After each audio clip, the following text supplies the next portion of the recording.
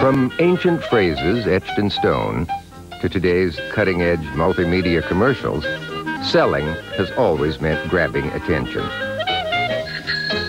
Attention from people with chickens to trade or money to spend. The point, moving the product. The means, tapping into desire, creating need. This is a story of exclamation, exaggeration, and even exploitation. A story that extends from Roman highways to Madison Avenue. It's Sell and Spin, a history of advertising.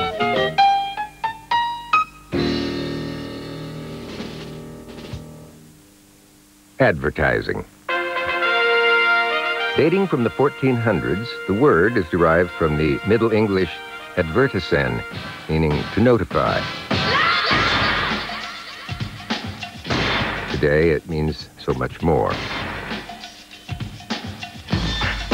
It's a way to get to people's subconscious, unconscious, to sort of delight their eyeballs and motivate them into some kind of consumer behavior by giving them images and words. Whiz presents the 10 million thousand things we have to do every day. Locate stuff. Prevent osteoporosis. Train dog. Pet husband. Save the planet. Then we still have to do the laundry really well. I've always loved advertising because it's always working under the illusion that it's directed just to me. Nothing is more narcissistic than to think that somebody really cares about you. Media researchers estimate that each day the average person in the United States is exposed to upwards of 3,000 ads. You're seeing ads when you get on the bus. You're seeing ads when you watch TV. There are ads on the floors in, in supermarkets. There are ads on the shelves at the convenience store. There are ads on the sides of telephone booths. There are blimp ads. The real question is not how many ads do we see. The real question is what do we have to do to see no ads? And the answer is go to sleep.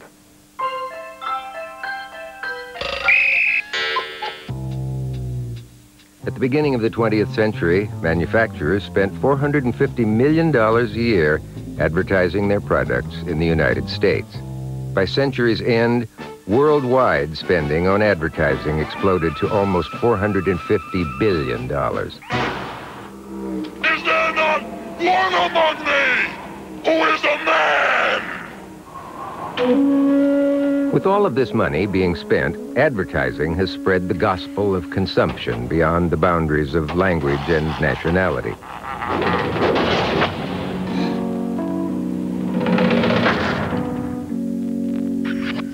There's six billion people on Earth. The single most recognized utterance on the globe is the term okay. The second most recognized words on Earth, phrase on Earth, are Coca-Cola. Second.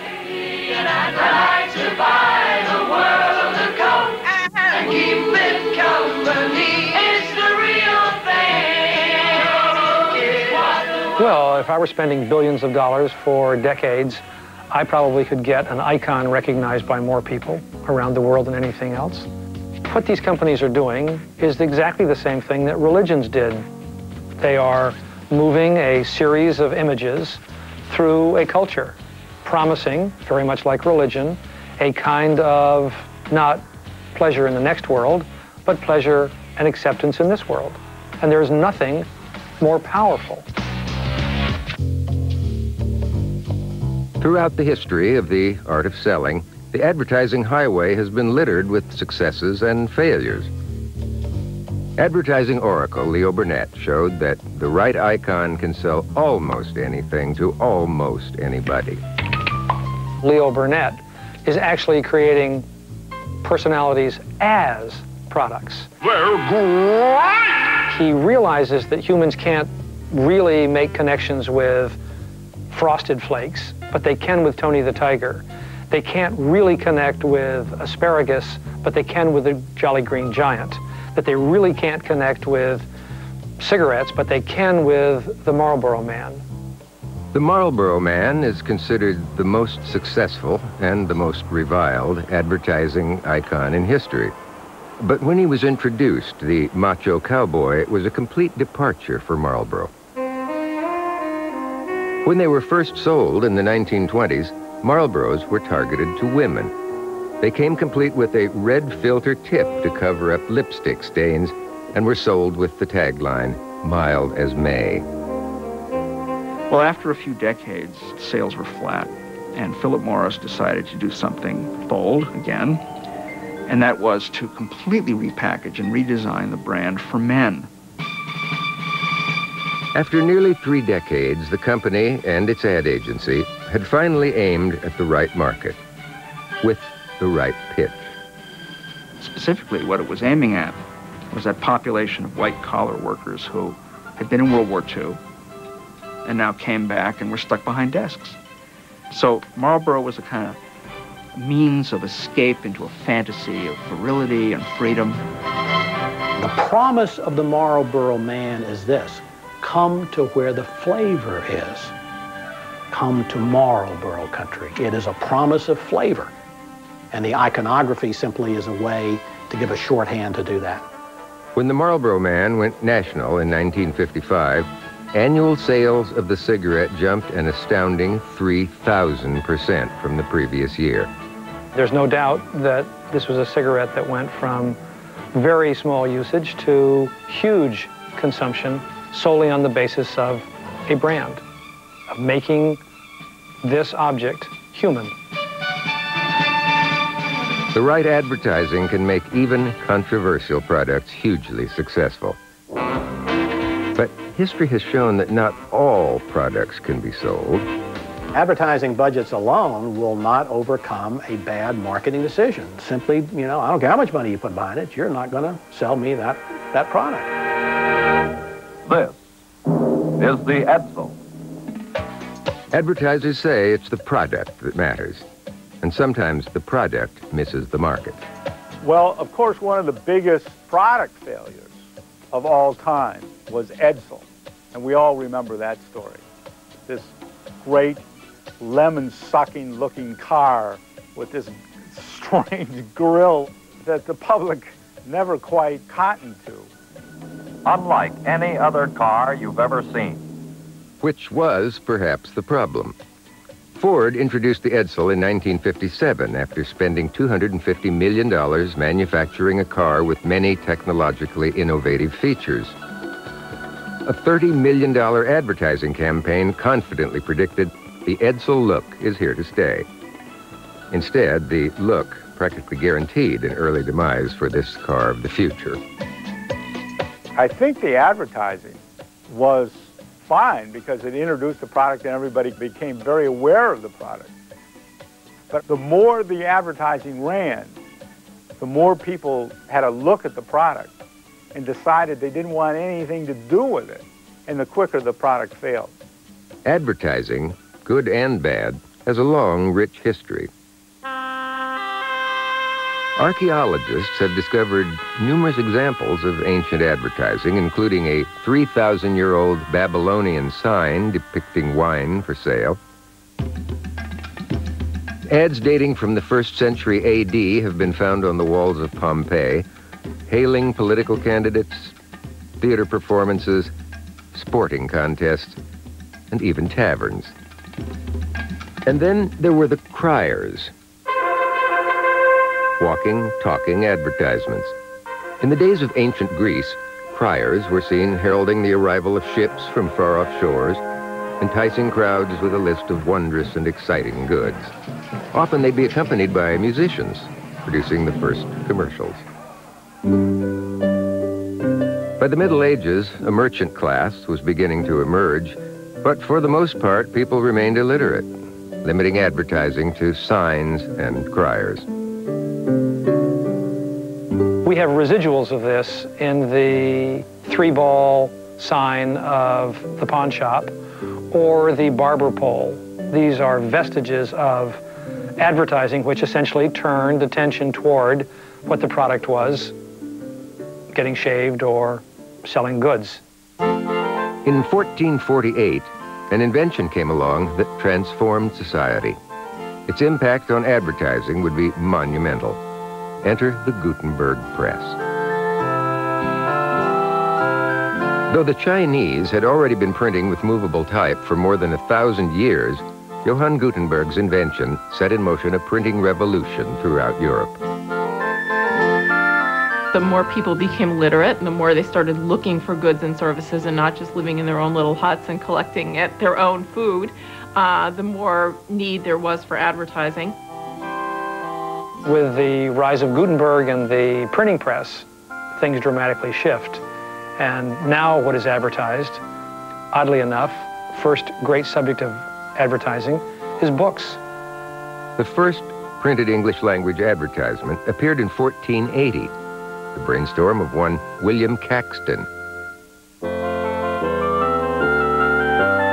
Noticing the leftover paper from a book of religious verse he was preparing, Caxton made signs promoting the book's availability.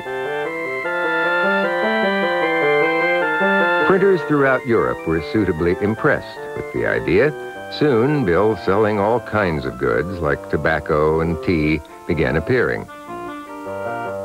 Eventually, the bills became so numerous on the streets of London that competitors tore down each other's ads. The practice led to the first advertising code in history. Printers agreed that ads could remain posted for two weeks. The printing press enabled advertising to conquer the streets of London, merely the first victory on its way to dominating all mass media with its messages to buy, buy, buy.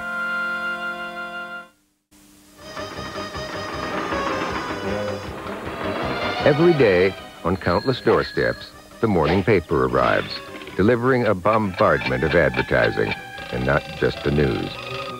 The average uh, consumer has come to expect that there'll be advertising in whatever medium he or she is turning to, to, to look for news or entertainment or information.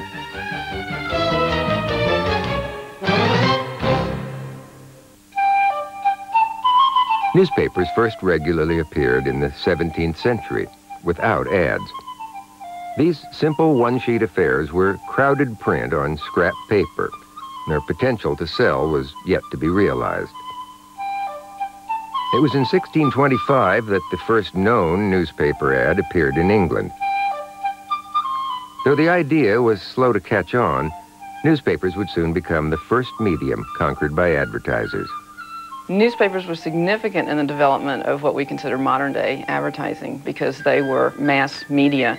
And what they did was make available an endless amount of space for advertisers to sell their brands, to promote their brands.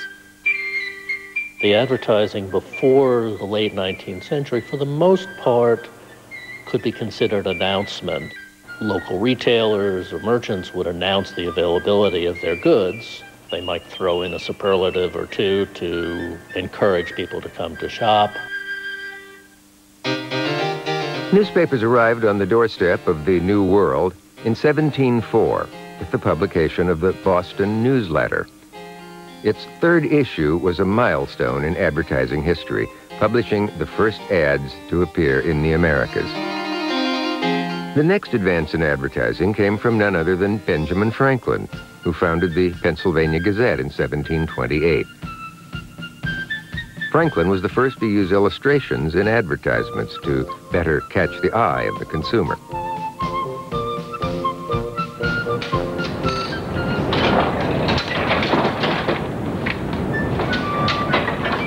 By the middle of the 18th century, most newspapers relied on advertising for profits.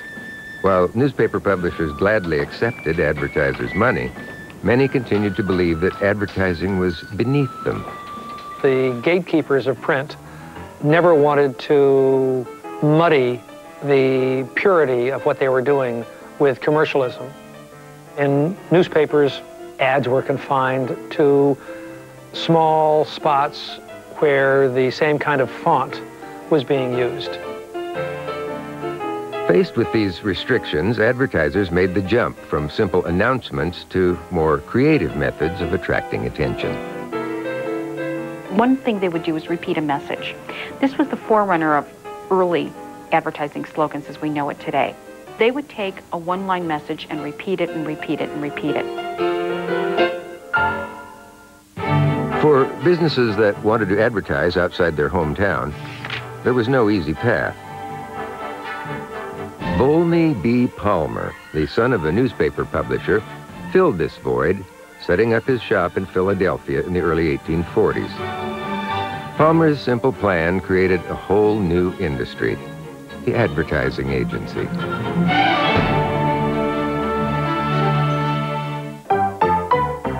He was an agent of newspapers. He would go out and try to recruit advertisements from businesses and was paid a commission by the newspaper. And this was the initial role of advertising agents, that they were essentially working for the publishers.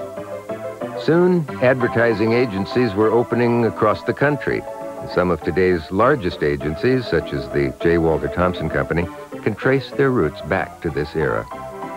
But these agencies were still limited to placing the ads, not writing them. Normally, the business that was advertising would scribble something on the back of an envelope, say, and have it brought down to the newspaper or sent over to the magazine. Magazines first opened their pages to advertisers in the post-Civil War era, providing the national exposure that manufacturers craved. Beyond that, the format was very conducive to um, beautiful advertising and color advertising when the advertiser could afford it. One early magazine publisher who eagerly pursued advertising revenue was Cyrus Curtis. He introduced the Ladies' Home Journal, and he seemed to have the right mix of fiction, fashion, articles that appealed to women, but also his magazine was created solely as a vehicle for advertising.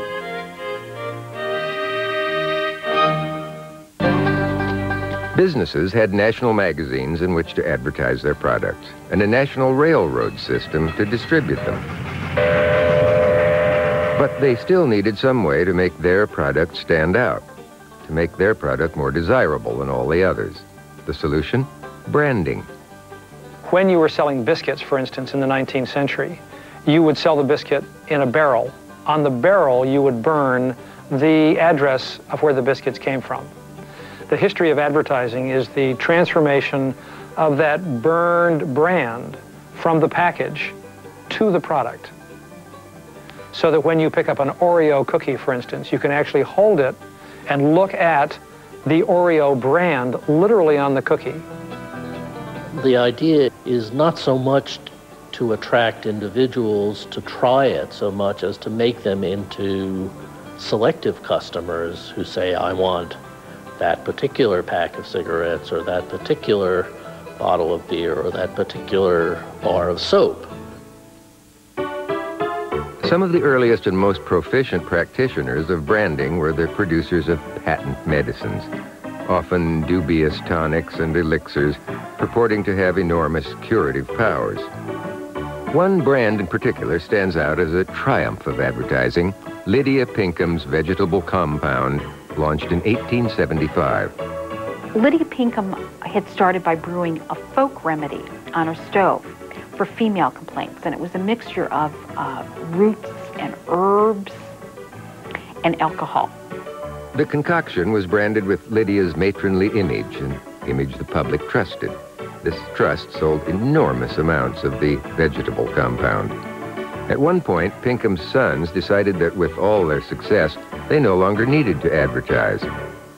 But when they stopped advertising, their sales automatically dropped also. When they returned to advertising, their sales dramatically went up. And this was the first widely publicized advertising success story that made the connection is the more you advertise, the more you sell. Convinced of advertising's power, manufacturers of more benign products decided to jump on the branding bandwagon. By the late 19th century, manufacturers were figuring out ways to convert generic products into packaged, labeled, and branded goods. One of the classic examples of this was the Uneeda biscuit that the National Biscuit Company pioneered in the late 1890s. The National Biscuit Company, the forerunner of Nabisco, turned to the N.W. Ayer and Son agency for expert advice on selling its new cracker to the public. Founded in 1869 by Francis Wayland Ayer, the agency initially just placed ads. But Ayer realized agencies needed to prepare the ads, not just place them. He is credited with starting the first full-service ad agency, writing copy and producing illustrations. To sell the new cracker, the agency employed many tricks of the advertising trade. A memorable name, Uneeda Biscuit, a humanizing icon, the Slicker Boy, which highlighted the special watertight packaging, and finally a catchy slogan, Do you know you need a biscuit? And that led to what's probably the first million dollar advertising campaign to popularize that brand. The Uneeda brand became so popular that in 1900 the company was selling 10 million packages a month. By the end of the century, advertisers were leading the charge in creating the words and images that would sell everything from cereal to cameras to cars. In short, the American dream. One technique, popularized by copywriter Claude Hopkins, was to give consumers a reason why to buy the product. Claude Hopkins sold Schlitz beer by advertising not the taste, but that Schlitz steam cleaned the bottles. Everybody else steam cleaned the bottles, but when Schlitz said it, people believed that only Schlitz did it. It's called reason why advertising. Advertising agencies used their new tools not only to sell popular items, but also to create a need for products. Advertising is manipulation, especially when it started. People really believed the claims, they believed the language. A lot of advertising was aimed at an immigrant class that was just coming to the United States and really wanted to learn how to fit in and how to be classy, and they took it very seriously. Advertisers created the need to be clean as a way to get ahead in life and earn respect. Nothing is more interesting from an advertising historian's point of view than the colonizing of the body. Every orifice in the body has been taken over by commercial interests. A hundred years ago, people would bathe once a week. They must have stunk. Yet advertising was able to sell the idea that germs would exist where dirtiness was. So to a great degree, a lot of what we take as being the natural rhythms of being clean is a result of advertisers. Advertisers convinced the public that every body part needed its own branded product to combat dirt and, even worse, odor. Most people don't think a lot about soap. So you first have to invent the disease and then invent the cure for the disease, which was what BO was. According to advertisers, the nefarious, though rarely terminal, disease of BO had many culprits, chief among them underarm odor. Odor Oh No, the first nationally advertised deodorant, faced the problem of mentioning the unmentionable for polite society. The forbidden word, armpit, was artfully alluded to as within the curve of a woman's arm. Nonetheless, the campaign still shocked consumers. This ad ran in the Ladies' Home Journal, and it so insulted some 200 some readers that they canceled their subscriptions. Yet in the same year, the sales of Odor Oh No went up 112%. With results like these, advertisements for hygiene products continued to play on people's fears of being outcast or ostracized. Listerine mouthwash invented the disease of halitosis um, and then provided the cure right there in the bottle. Advertisements frequently would suggest that not only would you spoil an afternoon or an evening, but that your entire life would be ruined. You wouldn't get the job, you wouldn't get the girl, and your life would go down the drain. By offering solutions to our age-old problems, while cunningly creating brand new ones to worry about, advertising evolved from simple announcements to stunningly provocative pitches. and had grown into a potent force in society by the early 20th century.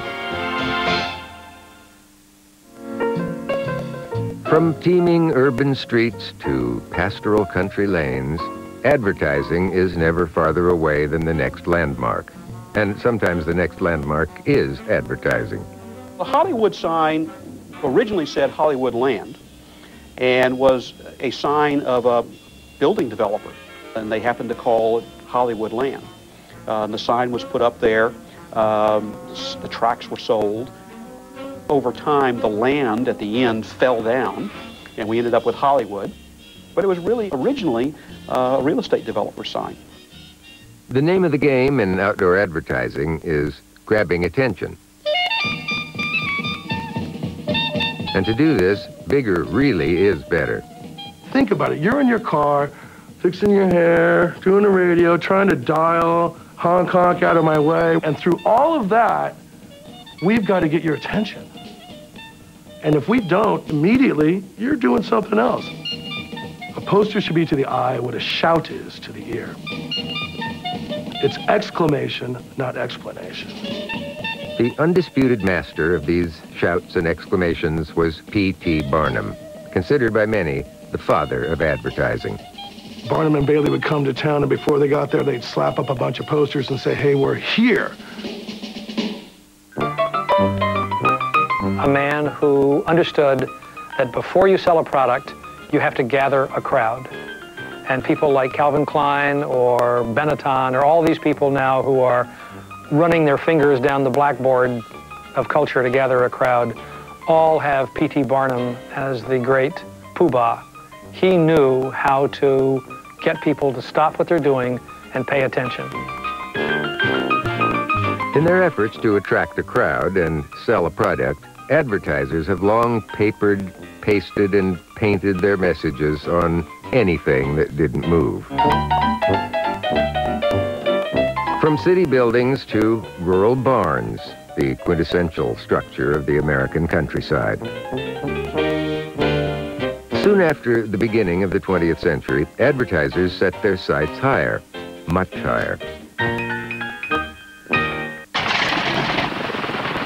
Always ready to adapt new technologies to sell their product, advertisers used the airplane to transform the wild blue yonder into just another advertising medium.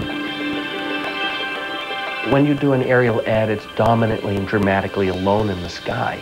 It's not surrounded by hundreds of other ads. No matter how high tech we get, people are still fascinated by things that fly. In 1911, Cal Rogers set out to hopscotch across the country in a newfangled flying machine. They did a coast-to-coast -coast flight from the East Coast to the West Coast, and in order to sponsor it, a, uh, a fizzy grape drink called Vin Fiz was painted underneath the wings of the plane. Vin Fiz plastered its name wherever it might be visible.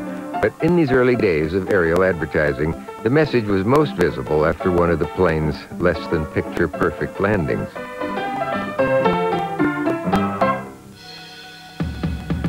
Hoping to devise a more efficient way to advertise, aviators continued to experiment with gimmicks, like writing in the sky. Skywriting came about as a result of World War I fighter pilots seeing planes leaving trails of smoke as they sort of spiraled down as their enemy went down in flames. In 1921, Major John Savage of the British Royal Air Force invented the system used for skywriting. Vapor trails were created by injecting a wax into the plane's exhaust. Pilots flew in the shape of letters, forming a message in the sky. Within a year, Savage and his skywriting machines traveled across the Atlantic to conquer the skies of America. Pepsi-Cola effectively built their empire with skywriting as their primary advertising medium. From 1939 to about 1953, they used skywriting across America. Another mainstay of aerial advertising has been the Goodyear Tire and Rubber Company. Their first blimp went aloft in 1925, and the company's airships continue to float in the sky. A lot of outdoor advertising has as its purpose what we call reinforcement, a reminder.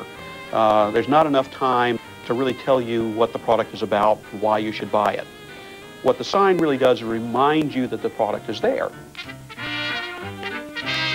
Airplanes and blimps were a boon to advertisers, but people had to look up to see the message. And with the rise of the automobile, people were spending more and more time with their eyes firmly focused on the road ahead of them. Early on, the only way you could get that audience, because we still didn't have radio in cars then, was to put signs out that people would pass as they went by in their cars. And so that as the car became a common consumer product, roadside advertising developed alongside it. In 1926, roadside advertising staked its first landmark, courtesy of Burma Shave.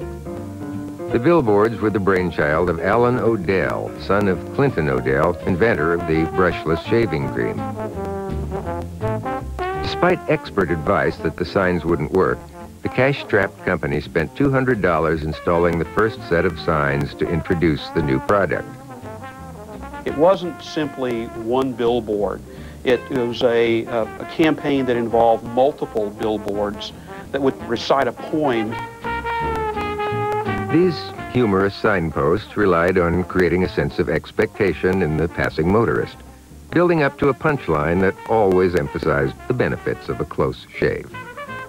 The humor and novelty of these signs caught the fancy of the American public, turning attention to Burma Shave. Its sales quickly shot up, starting a decades-long trend in the company's fortunes. Eventually, the signs appeared in 45 states and as far away as Antarctica. These became very prominent in the late 20s, early 30s, and continued even into the 40s and 50s as sort of icons of American highways. But by the 1960s, highway travel was too fast to be able to read small signs. The Burma Shave campaign ended in 1963 after posting more than 500 rhymes. People continue to cite the Burma Shave ads as an example of how to do outdoor advertising well.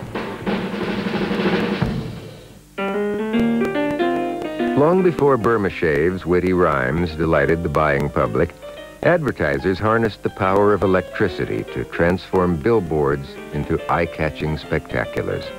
We take lighted signs for granted today, but in the 1880s, a lighted sign was really quite unusual. So the mere fact that it was lighted would draw attention to it. Ground zero for this explosion of light was New York City's magical Main Street, Broadway. From Herald Square in the south up to Longacre Square at 42nd Street, the lighted signs of Broadway earned it its nickname, the Great White Way. In 1904, with the construction of the New York Times headquarters, Longacre Square became Times Square, a nexus of streets that would become the canvas for a new kind of outdoor advertising.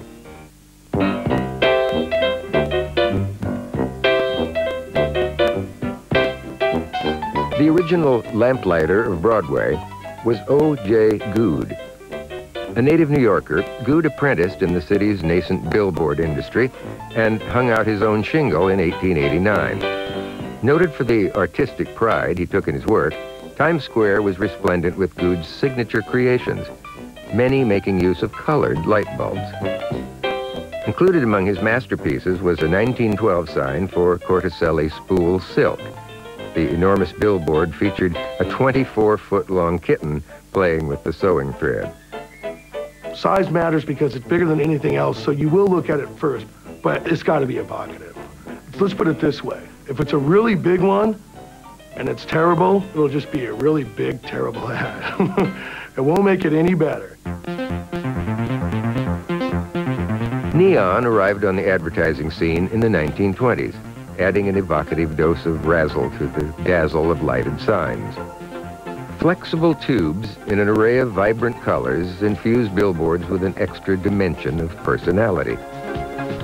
The colorful gas was used across the country to sell everything from Studebakers to baked goods.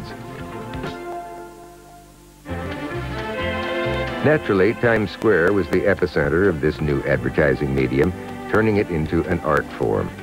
The talk of the town was the Wrigley's billboard erected in 1936. Called a skyscraper of color, the enchanting sign towered eight stories high. Taking outdoor advertising forward another step was legendary idea man Douglas Leigh. He moved to New York in 1931 from his native Alabama with big ideas about big signs. A man with a natural flair for selling, the charismatic Leigh convinced many companies that a simple billboard was simply not good enough. One of his early marvels was the Camel Cigarettes billboard. Unveiled in 1941, the sign became a mainstay in Times Square, blowing 10-foot wide smoke rings every four seconds. One way you might get people's attention is to have the sign do something unusual. So perhaps you have uh, a sign that blows smoke. It really grabs people's attention, causes people to talk to one another about the sign and ultimately about the product. Throughout the 1950s and 60s, Times Square continued to be the location of mesmerizing billboards, including the memorable neon sign for Coca-Cola. By the 1970s, however, Times Square became better known for selling sex than soda pop. For the next 20 years, it lost its luster with mainstream advertisers. Recent efforts, however, to make it safer and restore it as an advertising mecca have made Times Square a destination for more than 20 million tourists a year.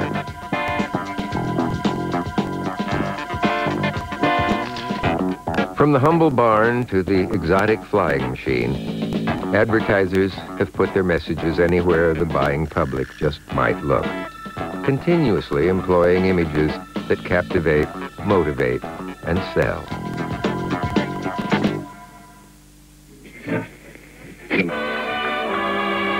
The sounds of radio. This talking box first started chattering on November 2nd, 1920. This is KDKA of the Westinghouse Electric and Manufacturing Company in East Pittsburgh, Pennsylvania. We shall now broadcast the election returns. That was the results of the Harding Cox campaign. Um, and as we all know, Harding was the victor people found out that night. They didn't have to wait until the newspaper came out. KDKA. For the first time, presidential election results were quickly available to radio listeners. But nobody really knew who, if anyone, was actually listening. We'd appreciate it if anyone hearing this broadcast would communicate with us, as we are very anxious to know how far the broadcast is reaching. Apparently, somebody out there was listening. Within two years, over 400 radio stations had sprung up around the country.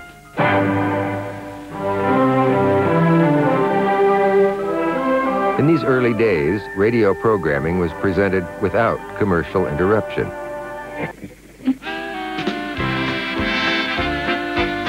It never occurred to the first owners of the radio business, by which I basically mean Westinghouse and General Electric, to make radio a, uh, an advertising-based business.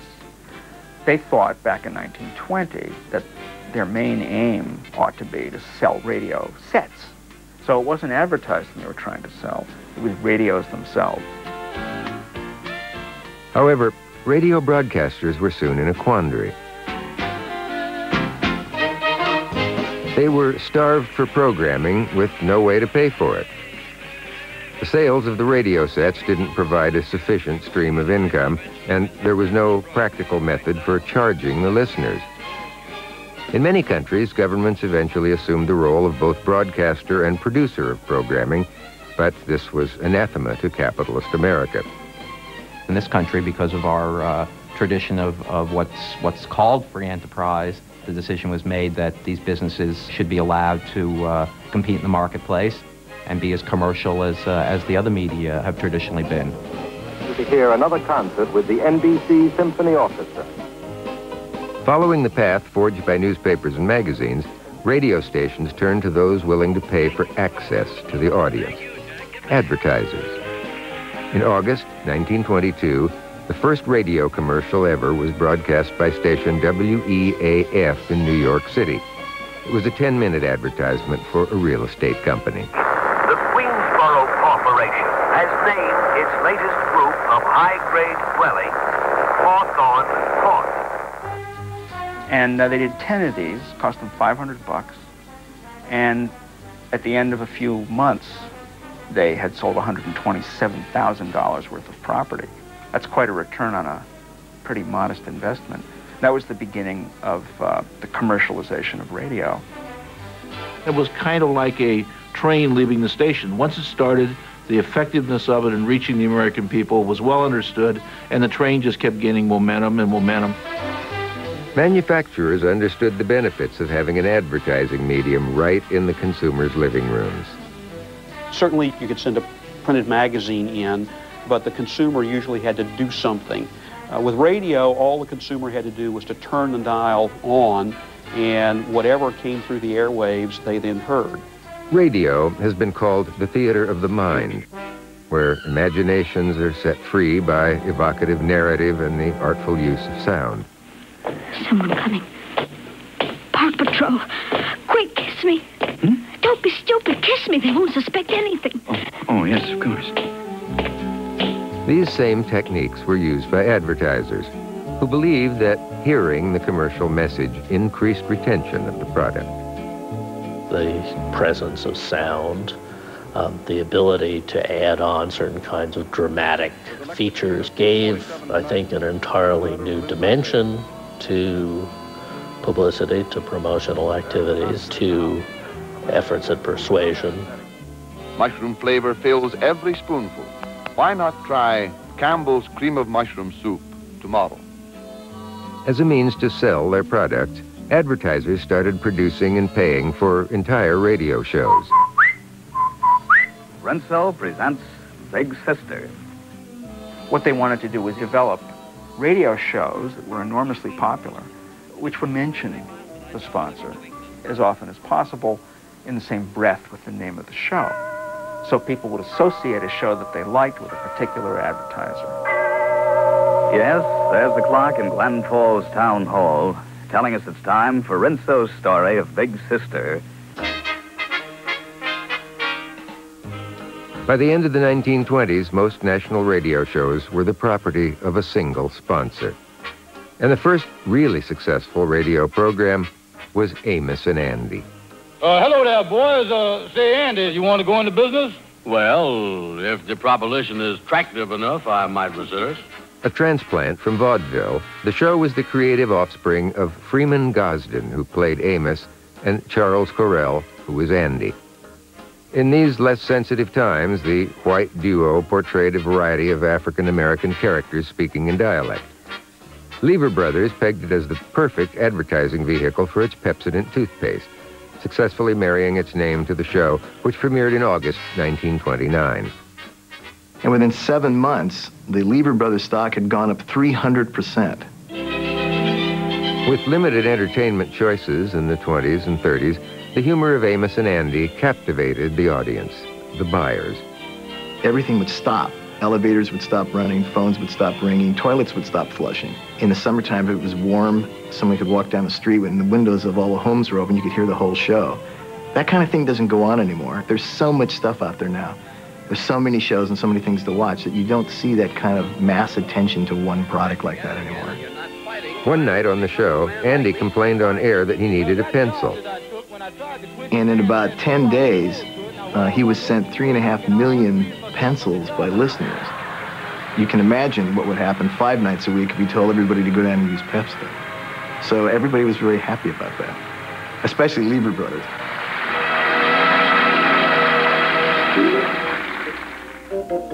Advertisers continued to develop ways to reach audiences, and one important audience they targeted was kids. When I was a kid growing up in the middle of Indiana, I used to listen to uh, the Jack Armstrong program on radio and, and the uh, singers singing the great Wheaties jingle. Won't you try Wheaties? For wheat is the best food of man. They're Wheaties was the first company to use a jingle on the radio, combining the poetry of advertising with music. The jingle echoed its way into the consciousness of kids everywhere. Have you tried Wheaties? They're whole wheat with all of the bran, and you can remember it years and years later. While advertisers did well with the kids, their main goal was to hit the mother lode of buying power, the housewife. Advertisers knew her main concern was, of course, getting the clothes clean. For a wash that's deep clean, sparkling clean, use deep cleaning Oxidol. Oxidol is deep cleaning, deep cleaning, deep cleaning. Their technique for getting to these women? The soap opera. Oxidol, own Ma Perkins. We call them soap operas today because of the Procter & Gambles and the Oxidols and people like that that were using this medium to get to the American housewife and say, if you use our soap, your clothes are going to be cleaner. Ladies, you've heard a lot of interesting promises about wash day products recently, but today I promise you the wash day surprise of your life. A wash so dazzling clean you'll have to rub your eyes to believe it. In 1938, radio overtook magazines as the number one advertising medium.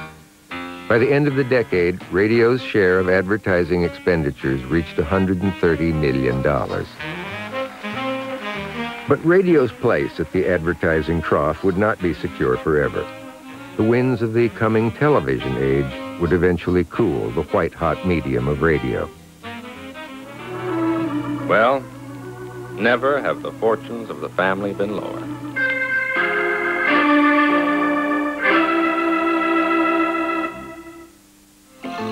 Television. No other medium has contributed more to the explosive growth of advertising. TV's impact as a salesman is both cheered and bemoaned. If you're selling a product which you can draw attention to by emotion, then television, nothing can beat it. Want my Coke? It's so immediate, Really, you can have it. it's so powerful, and it is so close to human response. You don't think about it, you see it, you associate what you see near it, and you say, I want it.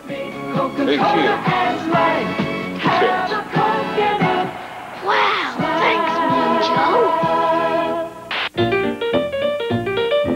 Although television was invented in 1927 and made a guest appearance at the 1939 New York World's Fair, America would have to wait until after World War II to invite this new guest into its living room. In 1946, there were fewer than 10,000 television sets in the United States and virtually none elsewhere in the world. Five years later, nearly 10 million TVs had been sold.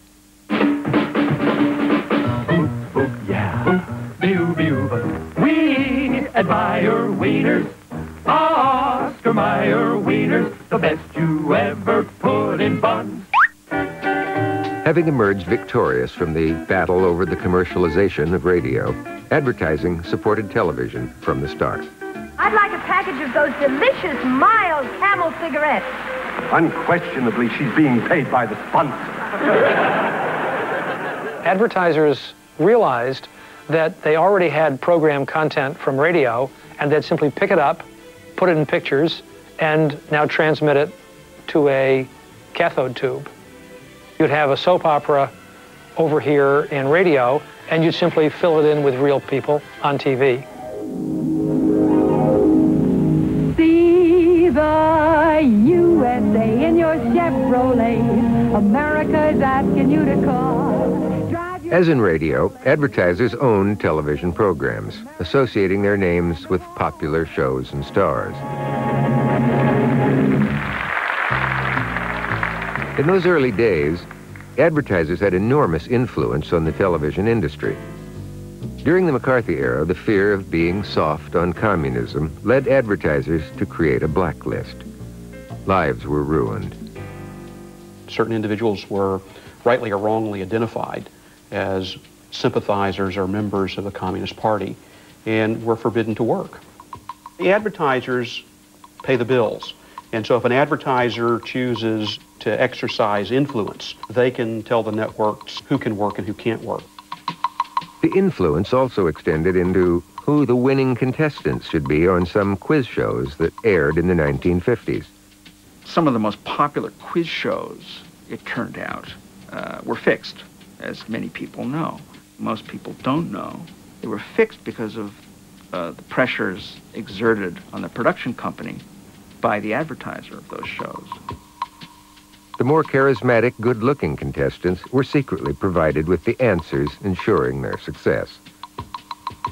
The dividends were increased viewership and wider exposure for the sponsor's products. When the scandal was revealed in 1959, the very nature of the way television was produced and presented changed forever. After the quiz show scandals, uh, the networks took over from the advertisers. They took charge of all the TV time and doled it out, sold it minute by minute to advertisers. Driven by a profit-oriented businessman, early TV ads were full of simplistic, repetitious boasts. Dip, dab, dip, dab, dip. The most common technique, the hard sell. The remarkable new Hotpoint Super Automatic. It not only bakes automatically, it even boils automatically, fries automatically.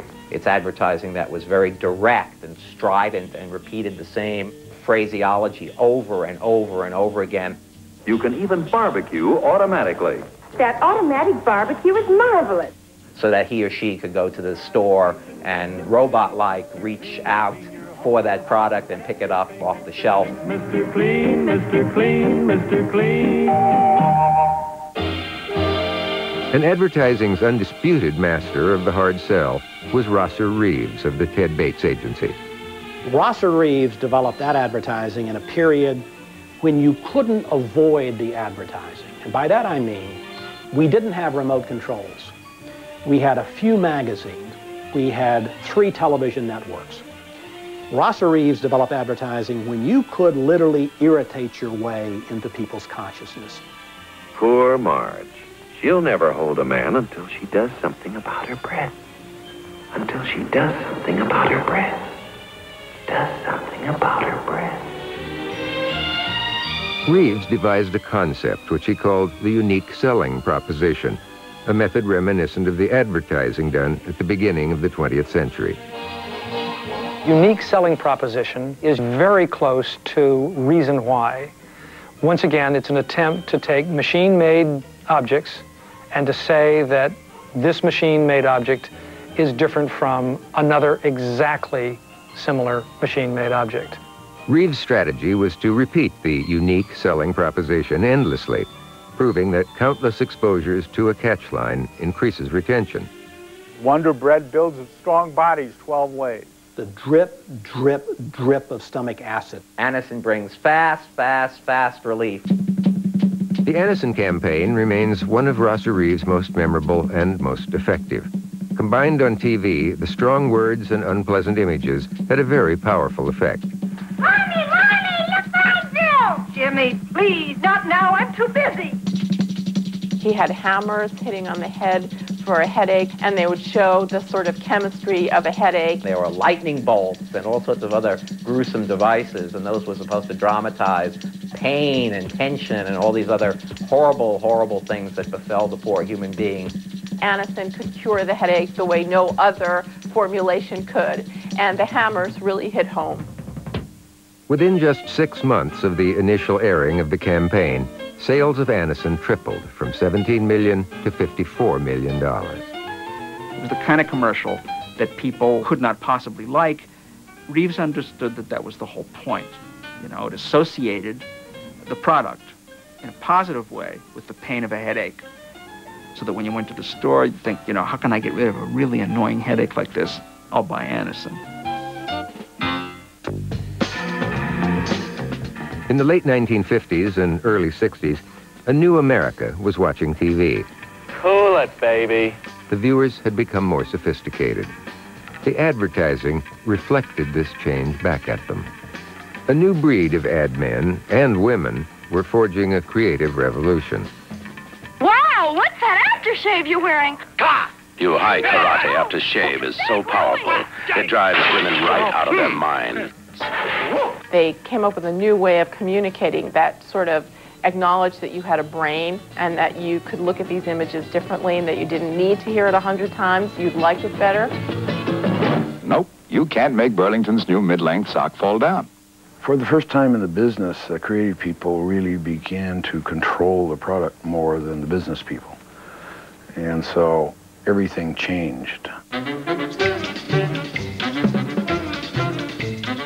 Leading the charge in the creative revolution was Bill Bernbach, creative director of the Madison Avenue powerhouse, Doyle Dane Bernbach.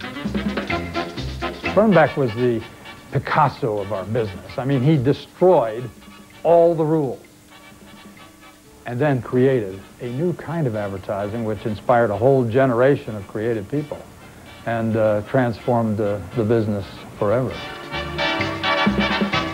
Bill Bernbach sits atop the list of the most influential ad people of the 20th century, as compiled by the trade magazine Advertising Age. And his work for Volkswagen was cited as the best advertising campaign ever. The Volkswagen ads began in print in 1959 and later hit the airwaves. With charm and a sly sense of humor, Bernbach turned car advertising on a dime, encouraging America to think small. It proved how how creativity and art could truly blend with, with marketing and commerce. How hard is it to sell a car designed by Adolf Hitler to the United States of America who is driving cars that are 15, 18 feet long and, and have wings on the back? He riveted attention toward this small car and showed that you could sell by being cool, by being distant, by being ironic, by winking. He essentially broke the wall between the viewer of the ad and the thing. Have you ever wondered how the man who drives a snowplow drives to the snowplow? This one drives a Volkswagen.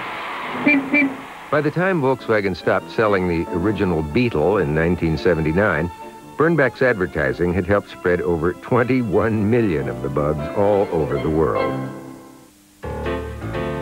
Another figure who emerged from the creative revolution in the 1950s was British import David Ogilvy, the founder of Ogilvy and Mather, who understood that selling is really about emotion. Big ideas. Now that's what the advertising business is really all about. The consumer really does want meaning. He doesn't want the object, he wants what the object means. David Ogilvy, the great ad guy, said, you know, when selling Dove soap, I could have sold it as a woman's soap or a man's soap.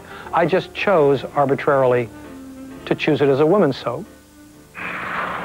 The ads created by Ogilvy and Mather for Maxwell House still evoke an immediate and powerful response in viewers.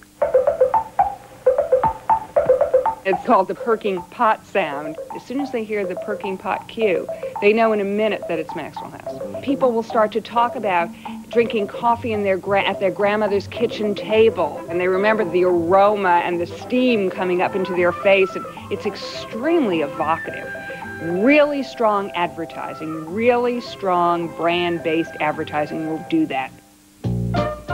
I think that the body of David's work isn't just those rare and wonderful ads he did, though they stand up in scrutiny over time.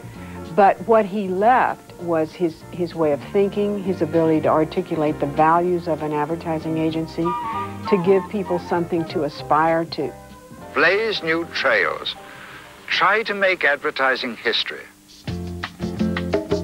The Creative Revolution also saw the founding of the first agency headed by a woman, Mary Wells, later of Wells, Rich and Greene.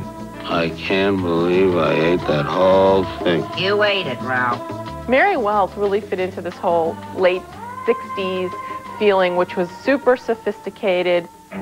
Well, you really did it to yourself this time. At least you remember the Alka-Seltzer. Plop, plop, fizz, fizz, oh, what a relief it is.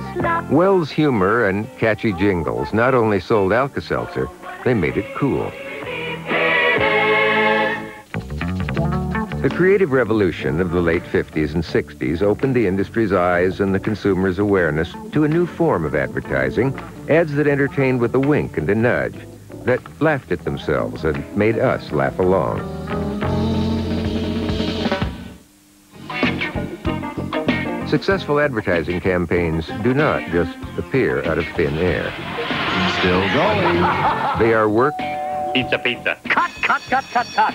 and rework. Delivery, delivery. Pizza, pizza. They're molded and perfected. What's that? A pterodactyl. They are inspired, yes. It's a miracle. But first, they are researched. People think of us as like crazy, you know, creative people sit around and wait for a bolt of lightning to come down and hit us. One banana or two bananas? But there's a system and a way of working that, that isn't, you know, just a guy walking down the street and getting hit by this impulse. We're very research oriented. He seems to prefer two. If a client's going to spend $100 million running a piece of advertising, then to do as much as we can to make sure it's going to work in the way we believe it's going to work is a, is a valuable thing. Now, that's where research comes in. Would you choose hamburger A, a Wendy's hamburger made fresh, or hamburger B, made in advance? Madison Avenue has long depended on the insight of specialists to tap into the psyche of buyers. Opinion research started in the United States of America and really around the world in 1932 when George Gallup took a job with Young and Rubicam in New York as head of their copy and media research department. And it was Gallup who used empirical marketing as the basis for advertising. It's factually based, it goes beyond intuition. Gallup and other researchers sought to create a science of persuasion, testing various pitches on consumers to determine which were the most likely to open their wallets. Back in the days when advertising was considered to be a science, there were many formula produced to try and guarantee that advertising would be effective. Advertisers relied on studies showing that color print ads using short, concise headlines were the most likely to be read.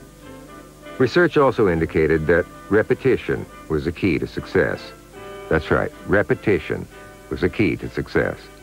Goes the back team. Goes the back team. People believed very much in that time in terms of stimulus and response. And it was probably a reasonable thing to believe at that time because the products had genuine product differences which you could build into the advertising and people would react in a predictable way. Down go the mean old germs.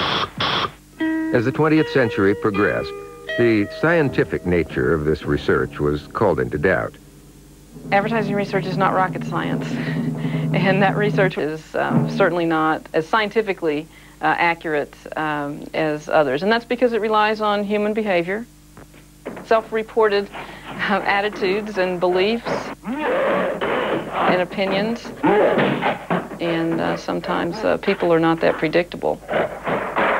How many of you would like more cheese on your pizza? Though no longer seen as infallible, advertising agencies still regard research as a necessary step.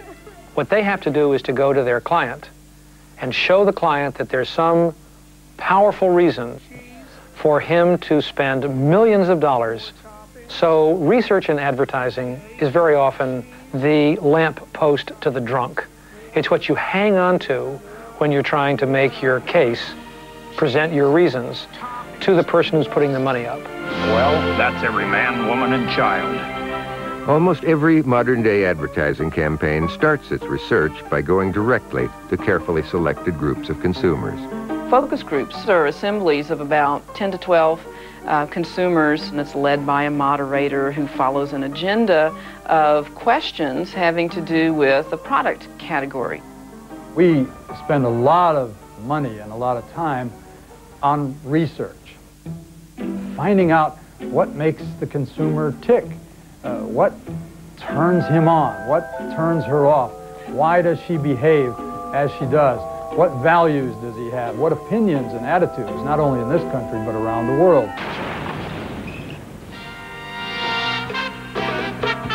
McDonald's first national advertising campaign in 1970 was an example of how the feedback from consumer research could lead to a winning campaign. We did focus groups. Why do you go to McDonald's? What's special about going to McDonald's? It was seen by consumers as an escape. McDonald's ad men culled the research to find the best words to sell this escape to the public. A special feeling inside. And we noticed that in describing this escape, a lot of the women, uh, and, and men for that matter, were saying, it, it's like a little break. And so we came up with, you deserve a break today. So get up and get away to McDonald's, McDonald's, McDonald's. The research led to a memorable pitch, and a profitable one, too. During the four years the campaign aired, McDonald's sales more than tripled. But research doesn't always rule. Instead, advertisers sometimes just go with gut instinct, as McDonald's did when it decided to teach the world the ingredients of the Big Mac. And we said, but look at the research. People don't care what's in a Big Mac. Lettuce and onion, sesame, all seed bun. It has its own mystique. Pickles, cheese. We shouldn't break it down into its separate parts. Raw beef patties, pickle sauce, lettuce, cheese, and this. And they smiled and very firmly said, but we want to tell people what's in a Big Mac. Two all beef patty, special sauce, lettuce, cheese, onions, pick, pickles, onions on it. And we came up with the idea, we said, you, we will do, we will teach people the ingredients of a Big Mac the same way we teach our kids the ABCs, with a dumb, tuneless chant. All right. Late one night, we said, or sang, two all beef patty, special sauce, lettuce, cheese, pickles, onions on a sesame seed bun. And we go out to McDonald's the next day and they say, yes, that's it. Two all beef patty, special sauce, lettuce, cheese, pickles, onions on a sesame seed bun. In 1997, after years of uninspiring commercials, Taco Bell switched advertising agencies to TBWA Chiat Day to search for a memorable ad campaign of their own. We really wanted to humanize this brand and to devise a symbol that would really read clearly and quickly with consumers around what this brand was all about. Research showed that young people, primarily 18 to 24 year old men, were the core consumers of Taco Bell. Now what was needed was a burst of creative inspiration.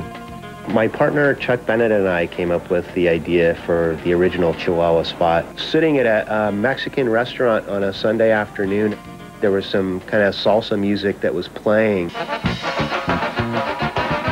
We both just saw this little Chihuahua cruising down the street. He looked like he was just on some kind of a serious mission to get something. So it was that was just kind of the, the little spark that launched uh, a thousand commercials. Yo quiero Taco Bell. Taco Bell and Chiat Day found that this snarky little dog spoke to their target audience. It's well known in advertising circles that if you want people's attention, use dogs or babies. It's the type of creative that causes people to want to watch it. What's the dog going to do now? We treat it kind of like a sitcom that has as its lead character the Chihuahua, but also involves other ancillary characters like his girlfriend and other people that the dog may meet in this kind of pseudo Mexican um, salsa powered world that we've created. The trick is to use the continuing story of the Chihuahua to serve the client's needs. Account people at Chiat Day, those who conduct the research and act as liaisons with the client, honed in on how best to use the dog. We're working on a spot right now for late night, and so we've done a lot of work with the target, with guys, kind of understanding their relationship to late night at Taco Bell. Is there anything synergistic between the Chihuahua and what he represents to these kids and the way they use late night? And then we would take it to the creative people, and we would um, let them know our strategy and our rationale and what we're looking for out of the ad. A team of creatives, a copywriter and an art director, brainstorm to come up with the next great idea. I'm just trying to imagine like what, what goes here if you have all this stuff. Right. 75% of the work is us sitting down with our books and figuring out And partners, what's the big idea. Yeah, partners may vary, but I think between us, it's very collaborative. The idea that I had for this one was, you know, just gorgeous women. They should just look like the type that you would never turn away. All ideas are first pitched to the creative director of the account. The tag we came up with this was "It's Great Late." As the people who kind of came up with the campaign originally, we try and kind of continue the vision of what the character of the dog is all about and control what type of ideas go forward and make the work as good as it can be.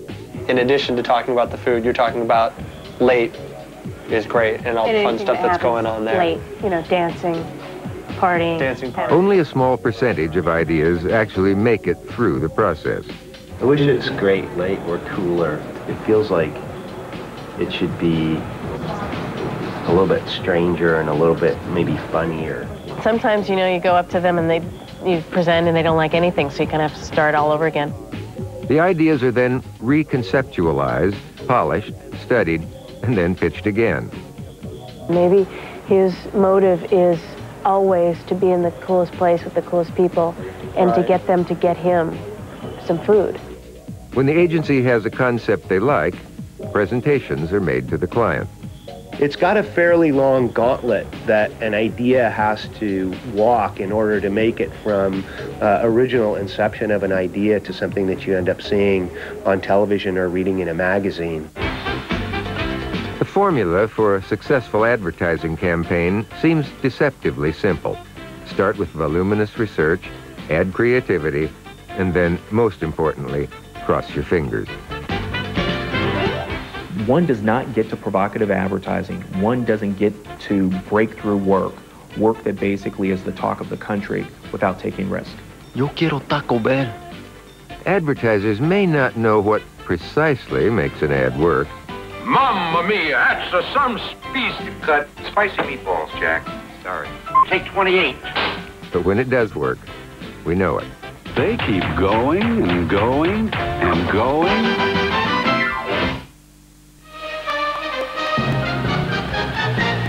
Political victory in the United States has long been achieved through shaking hands, whistle stop tours, conventions, and advertising. With the advent of television, advertising has come to the forefront of the political process. No man that knows anything about war is going to be reckless. Let's look at the record of the dark shadow of voting fraud. Billie Sol Estes and his connections in high places. It's amazing how many things there are in television that you don't, see. Voted himself a huge pay raise. decided to raise taxes Reduce the penalty for the crime of rape. Don't see. Television, voting fraud. Personal fortune It just doesn't add up. Gee, Dad, is all that true? Yes, son, every bit of it. Political advertising is a disaster. Our political discourse is dominated by, you know, snide, insinuating, uh, baseless, and trivial 15 and 30 second pitches. Political ads on TV didn't start out ugly. Indeed, they were rather benign. The first American political campaign to make extensive use of television was Dwight Eisenhower's 1952 run for the Oval Office. Ike's ad campaign was overseen by Rosser Reeves, the noted Madison Avenue master of the hard sell. The commercials made use of standard advertising techniques, like repetition, testimonials, and jingles. You like Ike, I like Ike, everybody likes Ike. For president. Hang out the banner, beat the drum, we'll take Ike to Washington. Rosser Reeves was the first sort of professional ad person brought in to run campaigns, and his view was you could sell candidates just like you could sell toothpaste. And indeed, I think his view has been borne out by history. This, then, is a real All-American among Americans today. This, then, is Dwight David Eisenhower. In the early years of political commercials, the ads remained positive, focusing on selling the candidate as someone who could be trusted. Do you like a man who answers straight, a man who's always fair? We'll measure him against the others, and when you compare, you cast your vote for Kennedy and the change that's overdue. So it's up to you, it's up to you, it's strictly up to you. But an ad for Lyndon Johnson's 1964 campaign against Barry Goldwater exploited a different technique, fear. The commercial, called Daisy, was created by Tony Schwartz. When they came to me on the Johnson campaign to do sound for various spots, I said, you just take a child picking the petals off a daisy. Six, eight, nine. And then go in on the eye and uh, then have the countdown.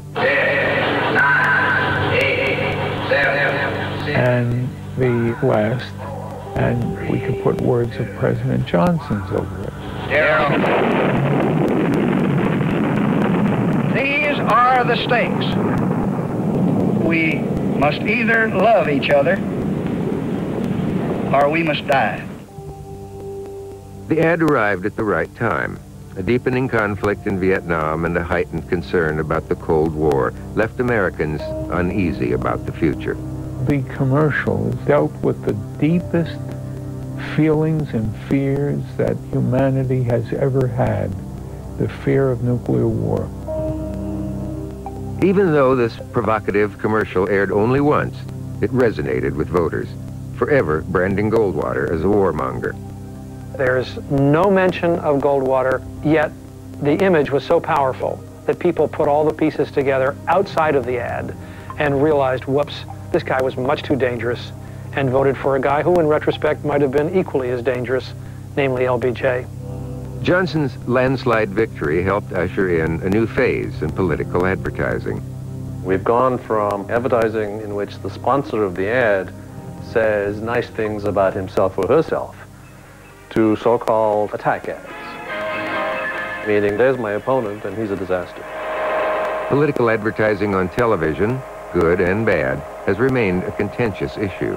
The negative ad gets all the press, and when we see it, we quickly decode it.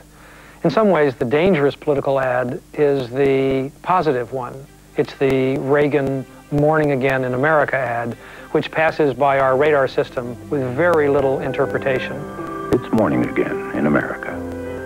The advertising for Reagan's reelection campaign was an exception in the trend toward increasing vitriol, offering instead a feel-good vision of American life. They said it was the best advertising that had ever been done in, in politics. And they said that it would uh, change the future of political advertising. And they were totally wrong. Uh, political advertising got a lot worse after that. Dukakis not only opposes the death penalty, he allowed first-degree murderers to have weekend passes from prison. It wouldn't be long before the infamous Willie Horton arrived on the political scene. A series of ads, courtesy of the forces promoting the candidacy of George Bush, portrayed Michael Dukakis as soft on crime. The revolving door ad in 1988 says, you elect uh, Michael Dukakis and you'll have all these prisoners being let out on weekend furloughs, and God knows what will happen to you and your family if you live near a prison. The ads pushed the right buttons with the electorate, helping to propel Bush to a convincing victory. Negative advertising has since become the mainstay of political campaigns. While they've been discrediting each other, I've been issuing my 82-point plan to eliminate the federal deficit. Politicians are not likely to abandon negative ads anytime soon because of their proven ability to work. It's much easier to get people to withdraw than to convert them from one candidate to another. So the principal effect of negative ad campaigns is to increase the number of people who say, hell with it, I'm just not going to vote. And not vote they have. The rate of voter turnout in the United States has decreased by nearly 15% since 1960, four years before Johnson's Daisy commercial.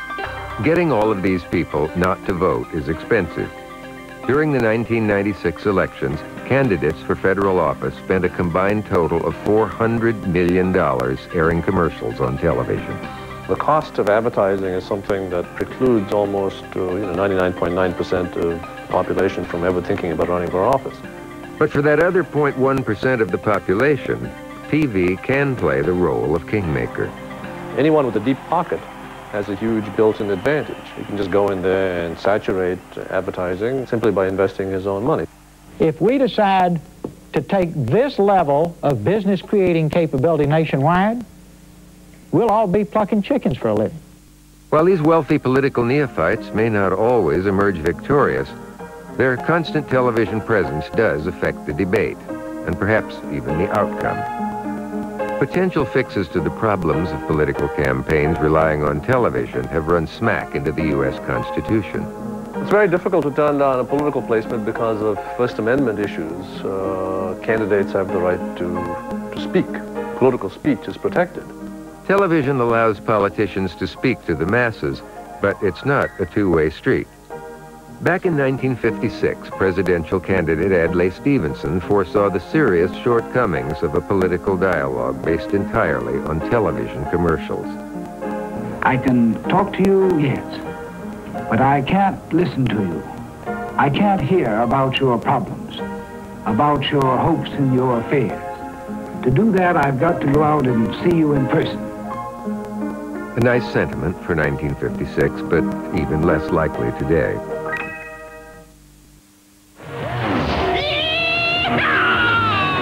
In today's scattershot television landscape, with hundreds of channels competing for our attention, and the remote control at the ready is harder than ever to get people to watch ads, much less remember them. I'm sure that if advertisers uh, had one wish right now, they would wish that the remote control could be removed. To make a commercial that'll stop somebody from moving their finger, you've got to waste a huge amount of time on all kinds of pyrotechnics or extraordinary measures just to keep that finger quiet. The remote control clicker is sort of the the cross to the vampire of advertising. Somebody forget his Ray-Ban sunglasses. to reel in today's more sophisticated and restless audience, advertising has to do more than inform. It has to entertain, capturing our imagination or tickling our collective funny bone. I always believe that through entertainment of a really high level that made people laugh or that, that moved them, you can sell better. Very nice! Is next evening wear. Very nice. When people watch our work, you know, 30 seconds later, they're happy, they're smiling, they're feeling good, so they feel good about the brand. Having a choice is better than not. Freedom of choice from Big Brother, IBM, was the theme of the groundbreaking 1984 commercial for the launch of Apple Computer's Macintosh. We were applying this, hey, these people are an audience out there. How can we go captivate and capture their imaginations and their attention? We are one. We one will. With George Orwell's 1984 as inspiration, and filmmaker Ridley Scott as director, the minute-long ad cost $400,000 to produce and another half a million dollars to air during the Super Bowl. We use more dramatic filmmaking and entertainment style storytelling than has ever been used in marketing a product. We shall prevail. The company couldn't afford any additional national airings of the commercial, but its captivating storytelling still paid off beyond anyone's expectation. Within a hundred days of its broadcast, 72,000 Macintosh computers were sold. They're kind of acting like an audience would rather than like a consumer would. Ultimately, if they applaud you a couple of times, they may actually go buy something that you make. By the 1990s, computers around the world were being connected to one another by the internet. Fertile new ground for advertisers. Advertising follows people, where they congregate and what they read and what they look at. And the underlying power of the internet is we're spending more time looking at the computer screen and less time looking at the TV screen. It's going to drain advertising out of television onto the screen of the computer because that's where people are.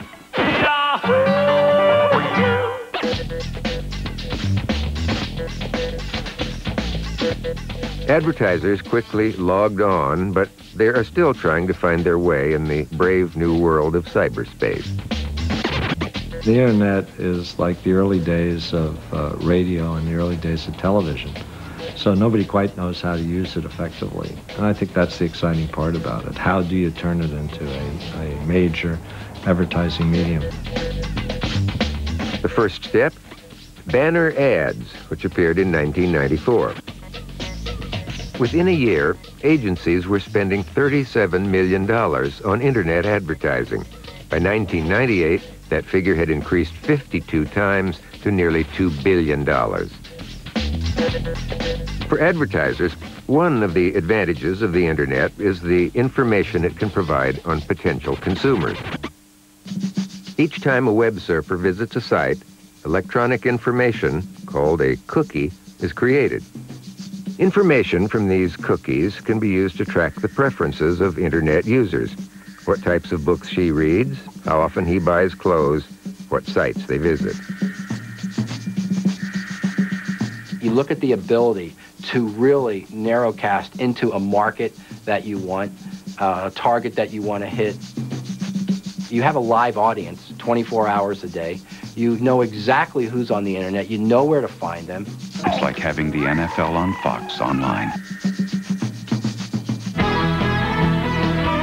Madison Avenue may know where the people are, but the people don't seem to care where the ads are. Studies show that over 90% of visitors to a typical website never click on the advertising. So advertisers are trying new approaches to grab consumers. CyberGold actually pays you to read an ad on the internet, will pay you dollars. It can be 50 cents up to $10. So we've gone from irritating people to actually paying them money to engage in our advertising is how far it's gone. Despite its long history and its forays into the future, the overall effectiveness of advertising has long been open to debate, as John Wanamaker of Wanamaker Department Stores knew as far back as the 1880s. He said, I know that half my advertising budget is wasted. I just don't know what half. And you've got to remember, back in those days, in the late 1800s, he didn't have as many media choices in a far more complex advertising environment. What percentage of advertising was wasted today? That's the question that advertisers are struggling with. If it didn't work, people wouldn't be spending millions and billions of dollars. If they're not getting any return on their money, they would stop doing that kind of advertising. To me, the simplest equation is if you spend $10 and you get 20 back, that's good. It's been proven that if you spend the money, especially if you spend the money well and you advertise well, the results will be enormous.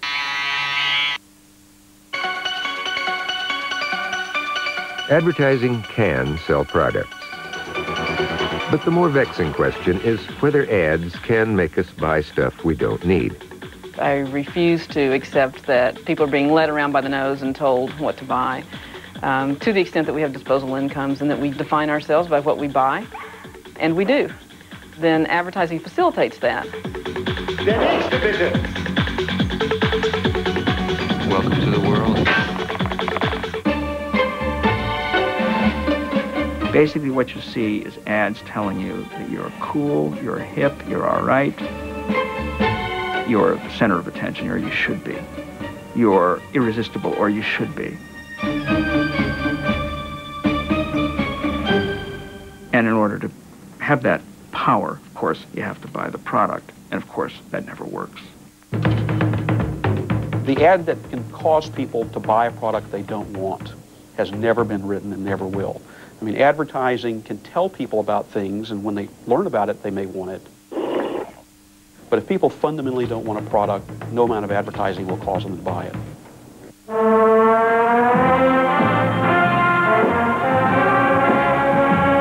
While the debate continues over the extent of advertising's effectiveness, one thing is clear.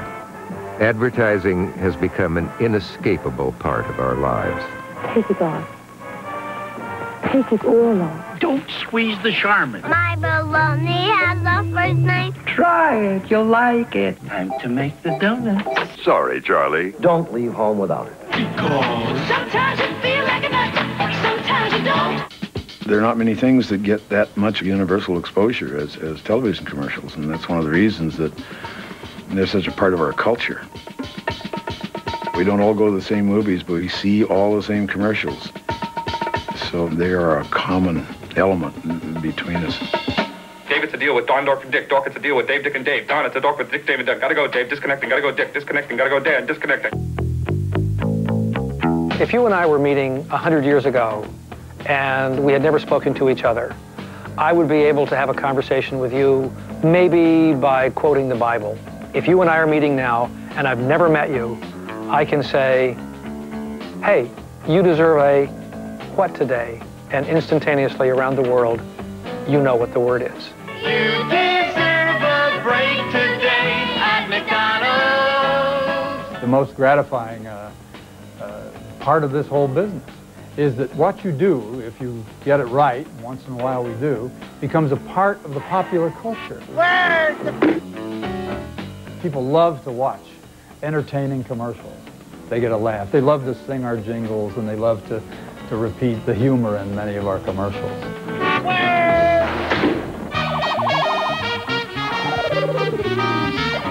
I don't know how important it is, but advertising is the uh, art of the masses, it has been said, and I like to think that we provide uh, enjoyment for everyone.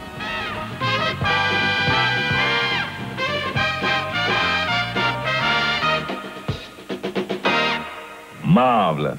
Absolutely marvelous. You can have more time for fun and pleasure. Family moments you will treasure. It's an opportunity to live better electrically. Keep your men going strong. Fill those wide open spaces. Watch the chow line get long. And look at those happy faces. Will do, will do. Bell Beauty Bar will do. Things for you no soap can do. A-N-T-I-Z-Y-M-E. Listerine enzyme toothpaste. Hello, everybody, hello, Halo is the shampoo that glorifies your hair. So Halo shampoo, Halo. Kool-Aid, Kool-Aid, tastes great. Wish we had some, can't wait. The whole egg in Hellmann's makes really smooth and creamy mayonnaise. Fuck, it's good. Six, but even less likely today.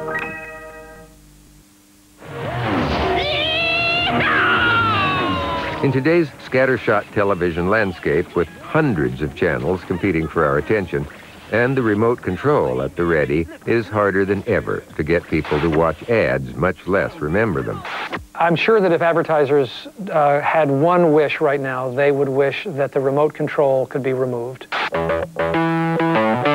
To make a commercial that'll stop somebody from moving their finger, you've got to waste a huge amount of time on all kinds of pyrotechnics or extraordinary measures just to keep that finger quiet. The remote control clicker is sort of the, the cross to the vampire of advertising.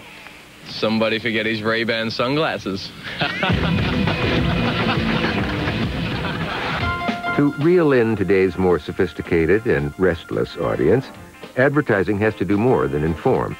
It has to entertain, capturing our imagination or tickling our collective funny bone. I always believe that through entertainment of a really high level that made people laugh or that, that moved them, you can sell better. Very nice. Is next evening wear. Very nice. When people watch our work, you know, 30 seconds later, they're happy, they're smiling, they're feeling good, so they feel good about the brand. Having a choice is better than none.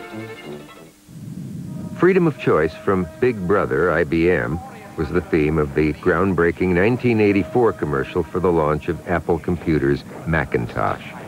We were applying this, hey, these people are an audience out there. How can we go captivate and capture their imaginations and their attention? We are one. With one will. With George Orwell's 1984 as inspiration and filmmaker Ridley Scott as director, the minute-long ad cost $400,000 to produce and another half a million dollars to air during the Super Bowl. We use more dramatic filmmaking and entertainment style storytelling than has ever been used in marketing a product. We shall prevail. The company couldn't afford any additional national airings of the commercial, but its captivating storytelling still paid off beyond anyone's expectation. Within a hundred days of its broadcast, 72,000 Macintosh computers were sold. They're kind of acting like an audience would rather than like a consumer would. Ultimately, if they applaud you a couple of times, they may actually go buy something that you make. In the days of ancient Greece, criers were seen heralding the arrival of ships from far-off shores, enticing crowds with a list of wondrous and exciting goods. Often they'd be accompanied by musicians, producing the first commercials. By the Middle Ages, a merchant class was beginning to emerge, but for the most part, people remained illiterate, limiting advertising to signs and criers. We have residuals of this in the three-ball sign of the pawn shop or the barber pole. These are vestiges of advertising which essentially turned attention toward what the product was, getting shaved or selling goods. In 1448, an invention came along that transformed society. Its impact on advertising would be monumental. Enter the Gutenberg Press. Though the Chinese had already been printing with movable type for more than a thousand years, Johann Gutenberg's invention set in motion a printing revolution throughout Europe. The more people became literate, and the more they started looking for goods and services and not just living in their own little huts and collecting at their own food, uh, the more need there was for advertising. With the rise of Gutenberg and the printing press, things dramatically shift. And now what is advertised, oddly enough, first great subject of advertising is books. The first printed English language advertisement appeared in 1480, the brainstorm of one William Caxton. Noticing the leftover paper from a book of religious verse he was preparing, Caxton made signs promoting the book's availability. Printers throughout Europe were suitably impressed with the idea. Soon, bills selling all kinds of goods, like tobacco and tea, began appearing. Eventually, the bills became so numerous on the streets of London that competitors tore down each other's ads. The practice led to the first advertising code in history. Printers agreed that ads could remain posted for two weeks. The printing press enabled advertising to conquer the streets of London, merely the first victory on its way to dominating all mass media with its messages to buy, buy, buy.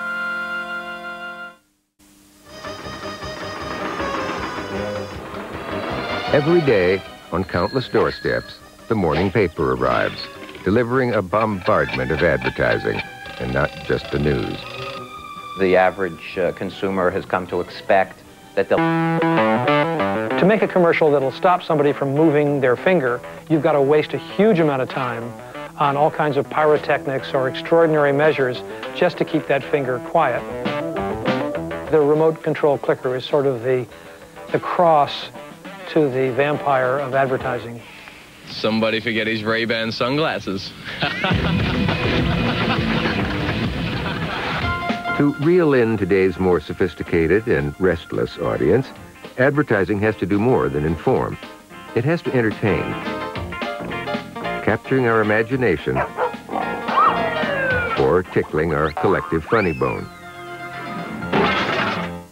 I always believe that through entertainment of a really high level that made people laugh or that, that moved them, you can sell better. Really nice! Is next evening wear. Very nice. When people watch our work, you know, 30 seconds later, they're happy, they're smiling, they're feeling good, so they feel good about the brand. Having a choice is better than none. Freedom of choice from Big Brother, IBM, was the theme of the groundbreaking 1984 commercial for the launch of Apple Computer's Macintosh. We were applying this, hey, these people are an audience out there. How can we go captivate and capture their imaginations and their attention? We are one people. with one will. With George Orwell's 1984 as inspiration and filmmaker Ridley Scott as director, the minute-long ad cost $400,000 to produce and another half a million dollars to air during the Super Bowl. We use more dramatic filmmaking and entertainment style storytelling than has ever been used in marketing a product. We shall prevail. The company couldn't afford any additional national airings of the commercial, but its captivating storytelling still paid off beyond anyone's expectation. Within a hundred days of its broadcast, 72,000 Macintosh computers were sold. They're kind of acting like an audience would rather than like a consumer would. Ultimately, if they applaud you a couple of times, they may actually go buy something that you make. By the 1990s, computers around the world were being connected to one another by the internet, fertile new ground for advertisers. Advertising follows people, where they congregate and what they read and what they look at. And the underlying power of the internet is we're spending more time looking at the computer screen and less time looking at the TV screen. It's going to drain advertising. Amos and Andy. Uh, hello there, boys. Uh, say, Andy, you want to go into business? Well, if the proposition is attractive enough, I might research. A transplant from vaudeville, the show was the creative offspring of Freeman Gosden, who played Amos, and Charles Correll, who was Andy. In these less sensitive times, the white duo portrayed a variety of African American characters speaking in dialect. Lever Brothers pegged it as the perfect advertising vehicle for its Pepsodent toothpaste, successfully marrying its name to the show, which premiered in August 1929. And within seven months, the Lever Brothers stock had gone up 300%. With limited entertainment choices in the 20s and 30s, the humor of Amos and Andy captivated the audience, the buyers. Everything would stop. Elevators would stop running, phones would stop ringing, toilets would stop flushing. In the summertime, if it was warm, someone could walk down the street when the windows of all the homes were open, you could hear the whole show. That kind of thing doesn't go on anymore. There's so much stuff out there now. There's so many shows and so many things to watch that you don't see that kind of mass attention to one product like that anymore. One night on the show, Andy complained on air that he needed a pencil.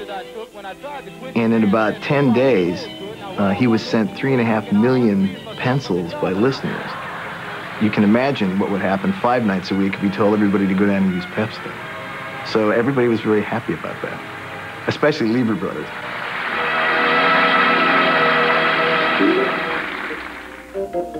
Advertisers continued to develop ways to reach audiences, and one important audience they targeted was kids. When I was a kid growing up in the middle of Indiana, I used to listen to uh, the Jack Armstrong program on radio and, and the uh, singers singing the great Wheaties jingle. Won't you try Wheaties? For wheat is the best food of man. They're Wheaties was the first company to use a jingle on the radio, combining the poetry of advertising with music. The jingle echoed its way into the consciousness of kids everywhere. Have you tried Wheaties? They're whole wheat with all of the bran. And you can remember it years and years later. While advertisers did well with the kids, their main goal was to hit the mother lode of buying power, the housewife. Advertisers knew her main concern was, of course, getting the clothes clean. For a wash that's deep clean, sparkling clean, use deep cleaning Oxydol. Oxydol is deep cleaning. Deep cleaning. Deep Their technique for getting to these women? The soap opera. Called the skyscraper of color, the enchanting sign towered eight stories high. Taking outdoor advertising forward another step was legendary idea man Douglas Leigh. He moved to New York in 1931 from his native Alabama with big ideas about big signs. A man with a natural flair for selling, the charismatic Leigh convinced many companies that a simple billboard was simply not good enough. One of his early marvels was the Camel Cigarettes billboard. Unveiled in 1941, the sign became a mainstay in Times Square, blowing 10-foot wide smoke rings every four seconds. One way you might get people's attention is to have the sign do something unusual. So perhaps you have uh, a sign that blows smoke. It really grabs people's attention, causes people to talk to one another about the sign and ultimately about the product. Throughout the 1950s and 60s, Times Square continued to be the location of mesmerizing billboards, including the memorable neon sign for Coca-Cola. By the 1970s, however, Times Square became better known for selling sex than soda pop. For the next 20 years, it lost its luster with mainstream advertisers. Recent efforts, however, to make it safer and restore it as an advertising mecca have made Times Square a destination for more than 20 million tourists a year.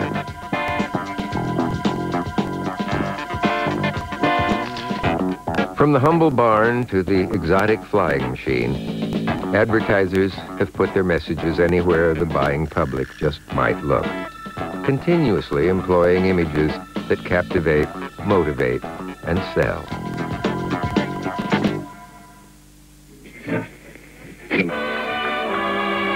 The sounds of radio.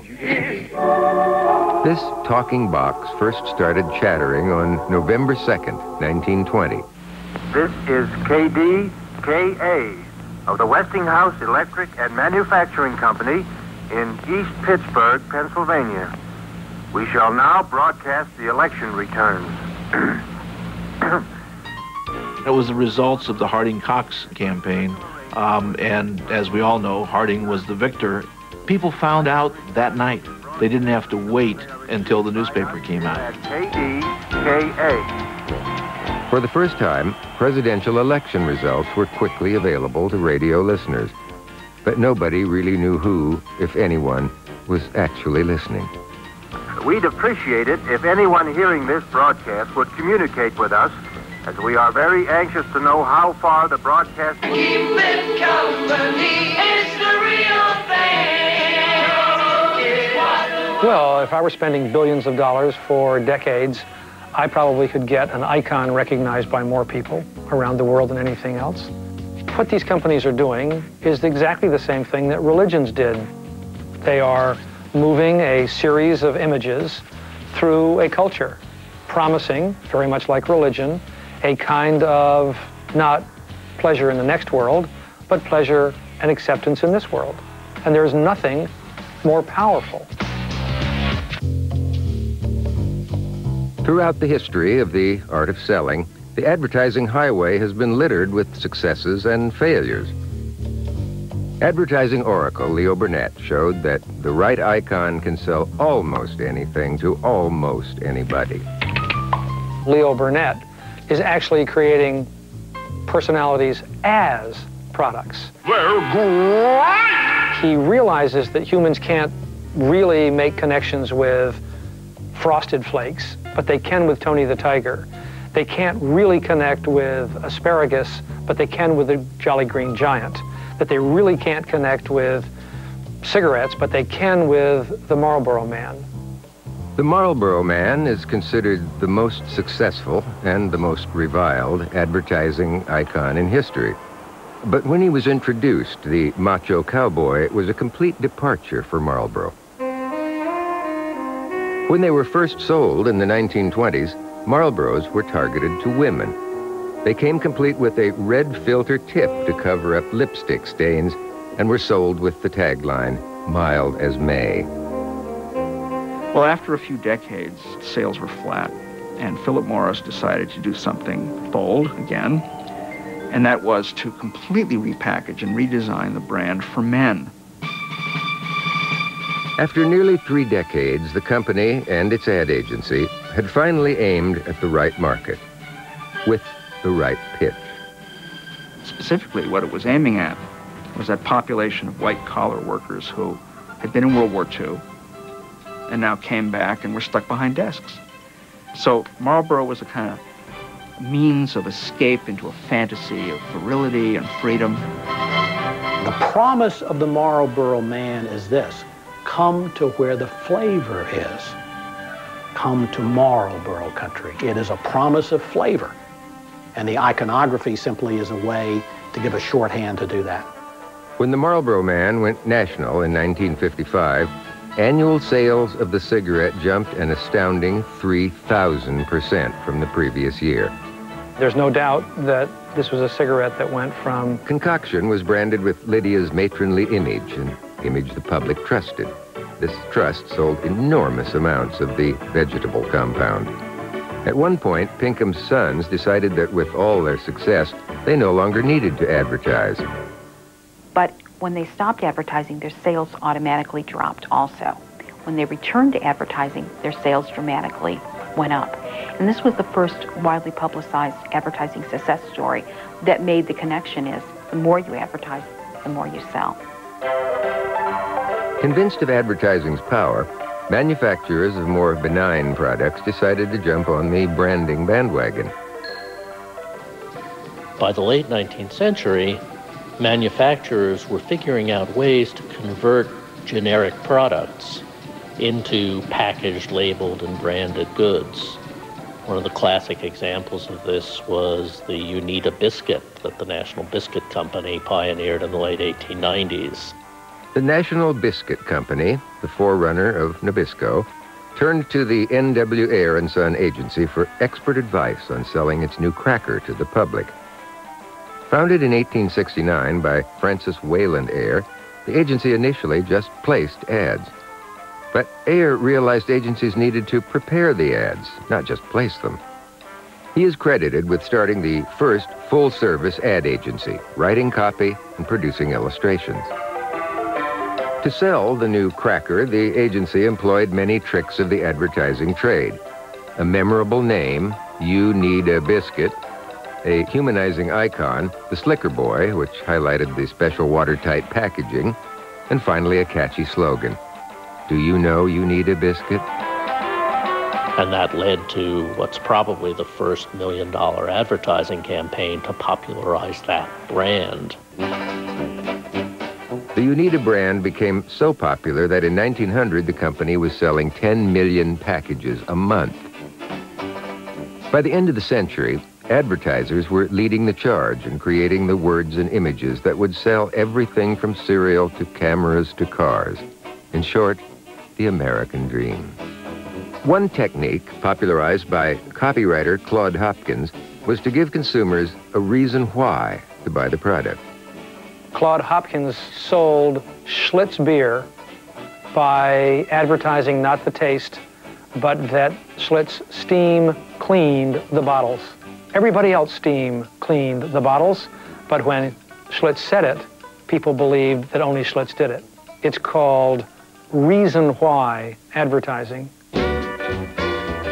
Advertising agencies used their new tools not only to sell popular items, but also to create their performances, sporting contests, and even taverns.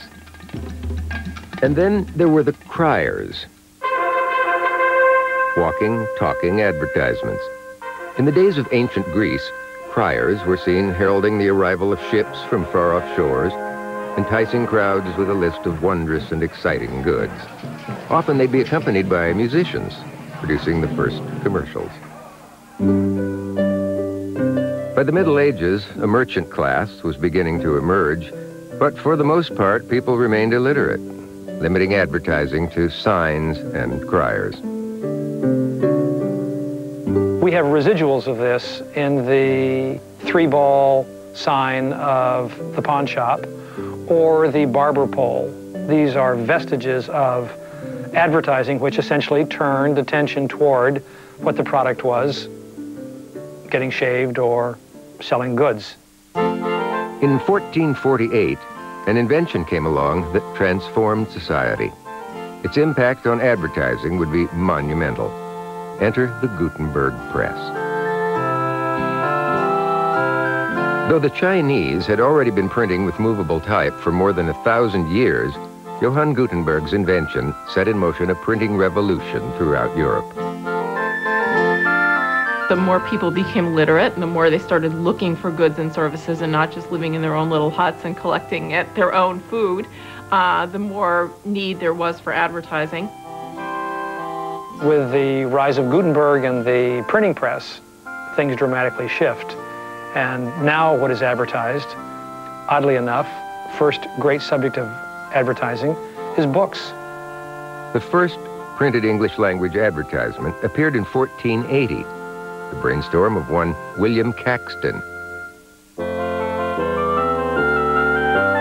Noticing the leftover paper from a book of religious verse he was preparing, Caxton made signs promoting the book's availability. Printers throughout Europe were suitably impressed with the idea. Soon, bills selling all kinds of goods like tobacco and tea began appearing.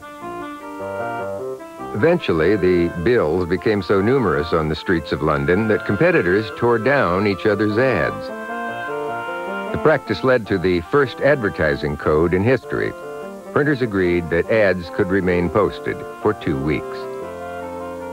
The printing press enabled advertising to conquer the streets of London, merely the first victory on its way to dominating all mass media with its messages to buy, buy, buy.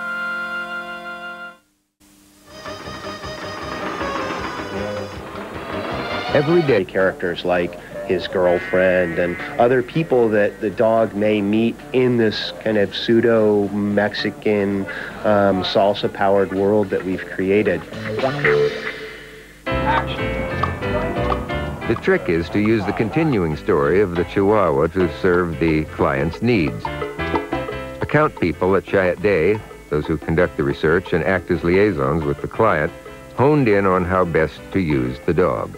We're working on a spot right now for late night, and so we've done a lot of work with the target, with guys, kind of understanding their relationship to late night at Taco Bell. Is there anything synergistic between the Chihuahua and what he represents to these kids and the way they use late night? And then we would take it to the creative people, and we would um, let them know our strategy and our rationale and what we're looking for out of the ad. A team of creatives, a copywriter, and an art director brainstorm to come up with the next great idea. I'm just trying to imagine like what, what goes here if you have all this stuff. Right. 75% of the work is us sitting down with our books and figuring out and partners, what's the big idea. Yeah, partners may vary, but I think between us, it's very collaborative. The idea that I had for this one was, you know, just gorgeous women. They should just look like the type that you would never turn away. All ideas are first pitched to the creative director of the account the tag we came up with this was it's great late. As the people who kind of came up with the campaign originally, we try and kind of continue the vision of what the character of the dog is all about and control what type of ideas go forward and make the work as good as it can be. In addition to talking about the food, you're talking about late is great and all the fun stuff that that's going on there. Late, you know, dancing, partying. Dancing party. Only a small percentage of ideas actually make it through the process. I wish it's great late or cooler. It feels like it should be a little bit stranger and a little bit maybe funnier. Sometimes, you know, you go up to them and they you present and they don't like anything, so you kind of have to start all over again. The ideas are then reconceptualized, polished, studied, and then pitched again. Maybe his motive is always to be in the coolest place with the coolest people and right. to get them to get him some food.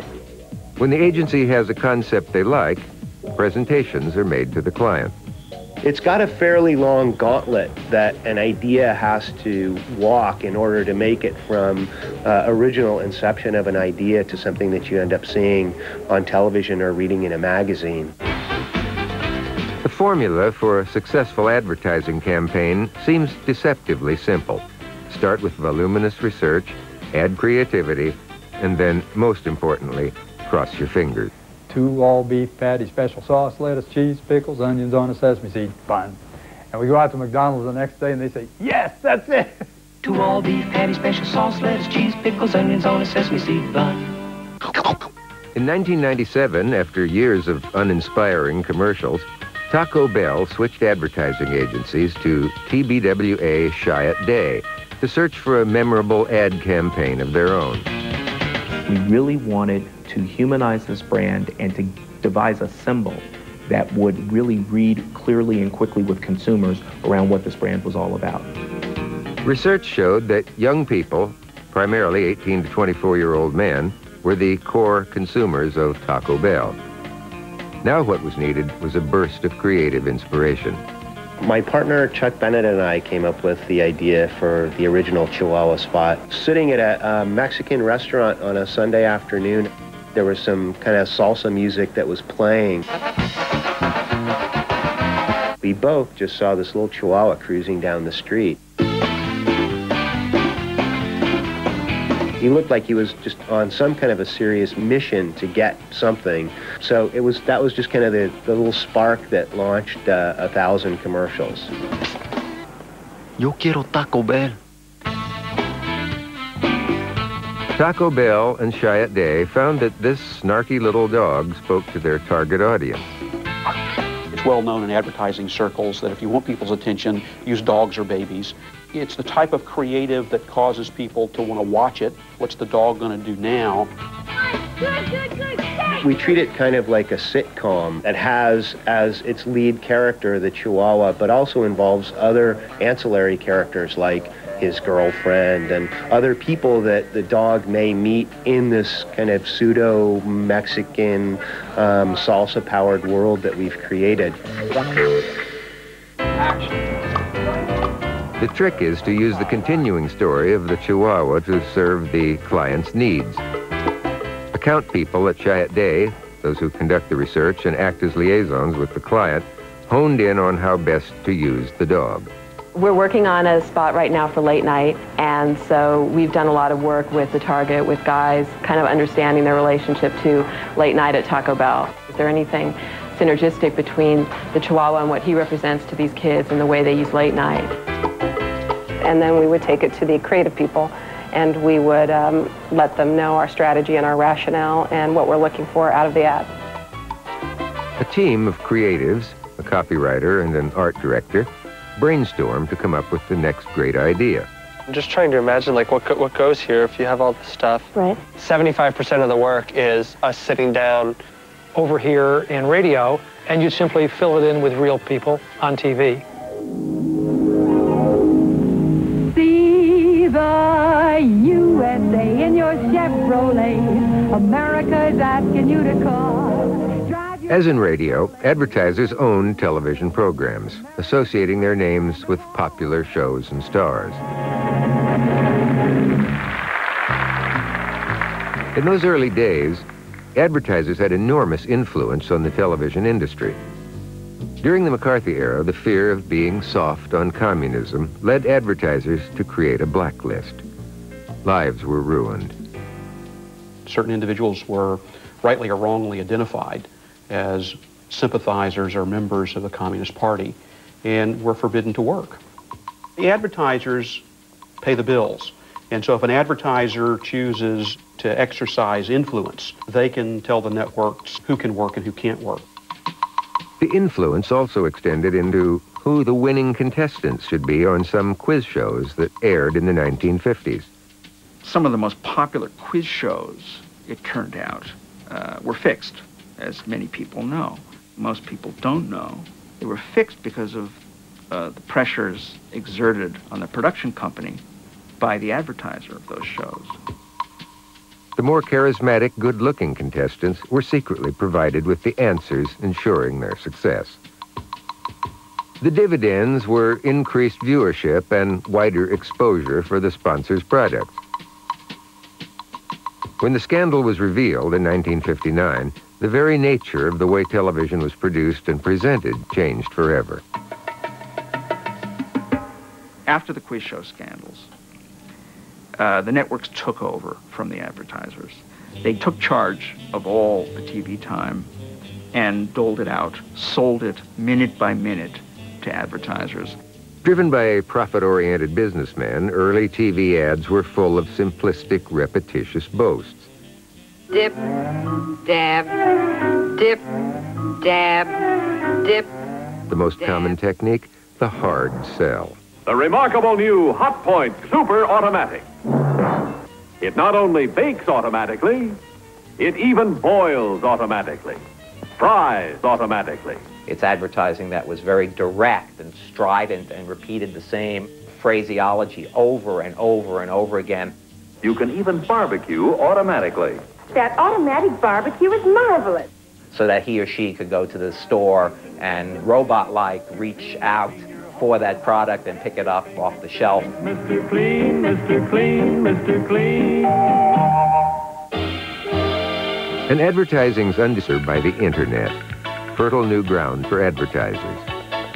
Advertising follows people, where they congregate and what they read and what they look at. And the underlying power of the internet is we're spending more time looking at the computer screen and less time looking at the TV screen.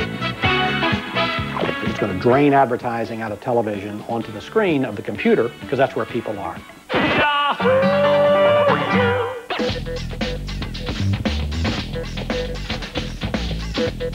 Advertisers quickly logged on, but they are still trying to find their way in the brave new world of cyberspace. The internet is like the early days of uh, radio and the early days of television. So nobody quite knows how to use it effectively. And I think that's the exciting part about it. How do you turn it into a, a major advertising medium? The first step, banner ads, which appeared in 1994. Within a year, agencies were spending $37 million on internet advertising. By 1998, that figure had increased 52 times to nearly $2 billion. For advertisers, one of the advantages of the internet is the information it can provide on potential consumers. Each time a web surfer visits a site, electronic information, called a cookie, is created. Information from these cookies can be used to track the preferences of internet users. What types of books she reads, how often he buys clothes, what sites they visit. You look at the ability to really narrowcast into a market that you want, uh, a target that you want to hit. You have a live audience 24 hours a day. You know exactly who's on the internet. You know where to find them. It's like having the NFL on Fox online. Madison Avenue may know where the people are, but the people don't seem to care where the ads are. Studies show that over 90% of visitors to a typical website never click on the advertising. So advertisers are trying new approaches to grab consumers. CyberGold actually pays you to read an ad on the internet, will pay you dollars. It can be 50 cents up to $10. So we've gone from irritating people to actually paying them money to engage in our advertising is how far it's gone. Despite its long history and its forays into the future, the overall effectiveness of advertising has long been open to debate, as John Wanamaker of Wanamaker Department Stores knew as far back as the 1880s. He said, I know that half my advertising budget is... Continued to develop ways to reach audiences, and one important audience they targeted was kids. When I was a, kid growing up in the middle of Indiana, I used to listen to uh, the Jack Armstrong program on radio and, and the uh, singers singing the great Wheaties jingle. Won't you try Wheaties? For wheat is the best food of man. Wheaties was the first company to use a jingle on the radio, combining the poetry of advertising with music. The jingle echoed its way into the consciousness of kids everywhere. Have you tried Wheaties? They're whole wheat with all of the bran, and you can remember it years and years later. While advertisers did well with the kids, their main goal was to hit the mother lode of buying power, the housewife. Advertisers knew her main concern was, of course, getting the clothes clean. For a wash that's deep clean, sparkling clean, use deep cleaning Oxydol. Oxydol is deep cleaning. Deep cleaning. Deep cleaning. Their technique for getting to these women? The soap opera. Oxydol own Ma Perkins. We call them soap operas today because of the Procter & Gamble's and the Oxydols and people like that that were using this medium to get to the American housewife and say, if you use our soap, your clothes are going to be cleaner. Ladies, you've heard a lot of interesting promises about wash day products recently, but today I promise you the wash day surprise of your life. A wash so dazzling clean you'll have to rub your eyes to believe it. In 1938, radio overtook magazines as the number one advertising medium. By the end of the decade, radio's share of advertising expenditures reached $130 million. But radio's place at the advertising trough would not be secure forever. The winds of the coming television age would eventually cool the white-hot medium of radio. Well, never have the fortunes of the family been lower.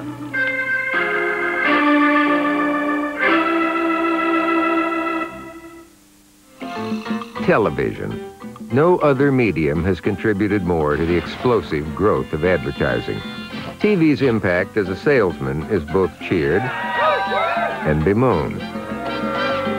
If you're selling a product which you can draw attention to by emotion, then television, nothing can beat it. Want my coat?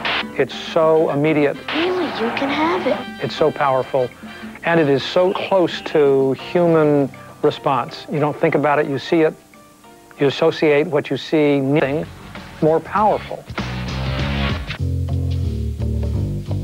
Throughout the history of the art of selling, the advertising highway has been littered with successes and failures. Advertising oracle Leo Burnett showed that the right icon can sell almost anything to almost anybody. Leo Burnett is actually creating personalities as products. They're great! He realizes that humans can't really make connections with Frosted Flakes, but they can with Tony the Tiger. They can't really connect with asparagus, but they can with the Jolly Green Giant. That they really can't connect with cigarettes, but they can with the Marlboro Man. The Marlboro Man is considered the most successful and the most reviled advertising icon in history. But when he was introduced, the macho cowboy was a complete departure for Marlboro. When they were first sold in the 1920s, Marlboros were targeted to women. They came complete with a red filter tip to cover up lipstick stains and were sold with the tagline, mild as May. Well, after a few decades, sales were flat, and Philip Morris decided to do something bold again, and that was to completely repackage and redesign the brand for men. After nearly three decades, the company and its ad agency had finally aimed at the right market with the right pitch. Specifically, what it was aiming at was that population of white-collar workers who had been in World War II and now came back and were stuck behind desks. So Marlboro was a kind of means of escape into a fantasy of virility and freedom. The promise of the Marlboro man is this come to where the flavor is. Come to Marlboro country. It is a promise of flavor. And the iconography simply is a way to give a shorthand to do that.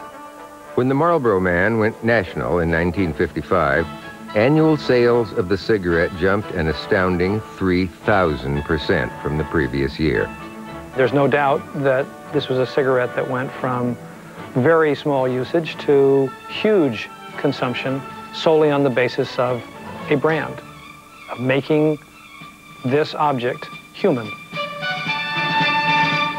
The right advertising can make even controversial products hugely successful.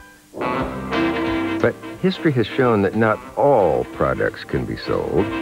Advertising budgets alone will not overcome a bad marketing decision. Simply, you know, I don't care how much money you put behind it, you're not going to sell me that, that product. Of escape into a fantasy of virility and freedom. The promise of the Marlboro man is this come to where the flavor is. come to Marlboro country. It is a promise of flavor. And the iconography simply is a way to give a shorthand to do that. When the Marlboro Man went national in 1955, annual sales of the cigarette jumped an astounding 3,000% from the previous year. There's no doubt that this was a cigarette that went from very small usage to huge consumption solely on the basis of a brand, of making this object human. The right advertising can make even controversial products hugely successful. But history has shown that not all products can be sold. Advertising budgets alone will not overcome a bad marketing decision. Simply, you know, I don't care how much money you put behind it, you're not going to sell me that, that product. This is the Edsel. Advertisers say it's the product that matters. And sometimes the product misses the market. Well, of course, one of the biggest product failures of all time was Edsel. And we all remember that story. This great lemon-sucking looking car with this strange grill that the public never quite cottoned to. Unlike any other car you've ever seen. Which was perhaps the problem. Ford introduced the Edsel in 1957 after spending $250 million manufacturing a car with many technologically innovative features. A $30 million advertising campaign confidently predicted the Edsel look is here to stay. Instead, the look practically guaranteed an early demise for this car of the future. I think the advertising was fine because it introduced the product and everybody became very aware of the product. But the more the advertising ran, the more people had a look at the product and decided they didn't want anything to do with it, and the quicker the product failed. Advertising, good and bad, has a long, rich history. Archaeologists have discovered numerous examples of ancient advertising, including a 3,000-year-old Babylonian sign depicting wine for sale. Ads dating from the first century AD have been found on the walls of Pompeii, hailing political candidates, theater performances, sporting contests, and even taverns. And then there were the criers. Advertisers were leading the charge in creating the words and images that would sell everything from cereal to cameras to cars. In short, the American dream. One technique, popularized by copywriter Claude Hopkins, was to give consumers a reason why to buy the product. Claude Hopkins sold Schlitz beer by advertising not the taste, but that Schlitz steam cleaned the bottles. Everybody else steam cleaned the bottles, but when Schlitz said it, people believed that only Schlitz did it. It's called reason why advertising. Advertising agencies used their new tools not only to sell popular items, but also to create a need for products. Advertising is manipulation, especially when it started. People really believed the claims they believed the language. A lot of advertising was aimed at an immigrant class that was just coming to the United States and really wanted to learn how to fit in and how to be classy. And they took it very seriously. Advertisers created the need to be clean as a way to get ahead in life and earn respect. Nothing is more interesting from an advertising historian's point of view than the colonizing of the body. Every orifice in the body has been taken over by commercial interests.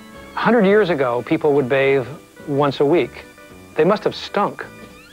Yet advertising was able to sell the idea that germs would exist where dirtiness was.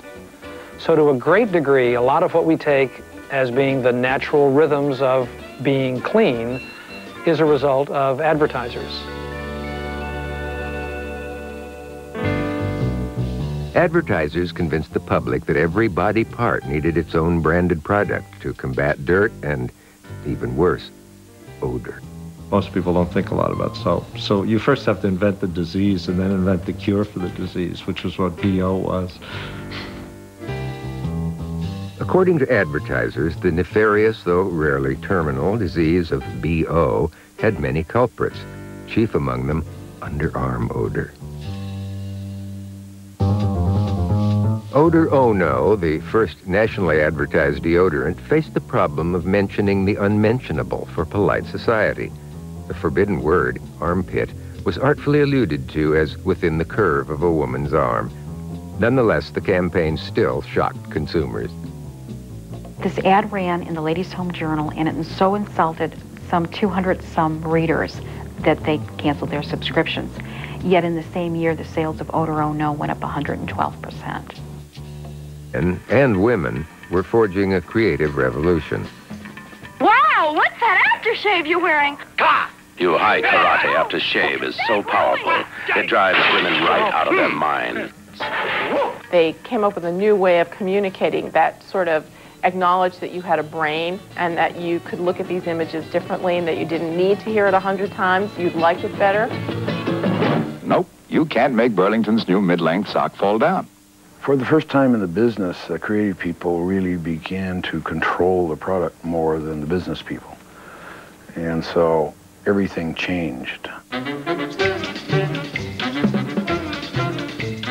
Leading the charge in the creative revolution was Bill Bernbach, creative director of the Madison Avenue powerhouse, Doyle Dane Bernbach.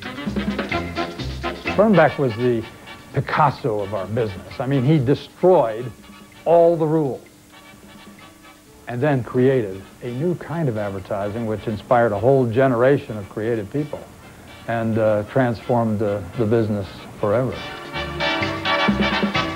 Bill Bernbach sits atop the list of the most influential ad people of the 20th century, as compiled by the trade magazine Advertising Age. And his work for Volkswagen was cited as the best advertising campaign ever. The Volkswagen ads began in print in 1959 and later hit the airwaves. With charm and a sly sense of humor, Bernbach turned car advertising on a dime, encouraging America to think small. It proved how, how creativity and art could truly blend with, with marketing and commerce. How hard is it to sell a car designed by Adolf Hitler to the United States of America who is driving cars that are 15, 18 feet long and, and have wings on the back? He riveted attention toward this small car and showed that you could sell by being cool, by being distant, by being ironic, by winking. He essentially broke the wall between the viewer of the ad and the thing.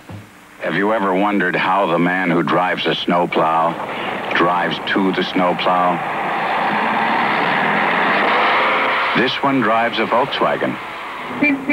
By the time Volkswagen stopped selling the original Beetle in 1979, Bernbach's advertising had helped spread over 21 million of the bugs all over the world. Another figure who emerged from the creative revolution in the 1950s was British import David Ogilvy, the founder of Ogilvy and Mather, who understood that selling is really about emotion. 29. And within seven months, the Lever Brothers stock had gone up 300%. With limited entertainment choices in the 20s and 30s, the humor of Amos and Andy captivated the audience, the buyers. Everything would stop. Elevators would stop running, phones would stop ringing, toilets would stop flushing. In the summertime, if it was warm, someone could walk down the street when the windows of all the homes were open, you could hear the whole show. That kind of thing doesn't go on anymore. There's so much stuff out there now. There's so many shows and so many things to watch that you don't see that kind of mass attention to one product like that anymore. One night on the show, Andy complained on air that he needed a pencil. And in about 10 days, uh, he was sent three and a half million pencils by listeners. You can imagine what would happen five nights a week if he told everybody to go down and use Pepsi. So everybody was very happy about that, especially Lever Brothers.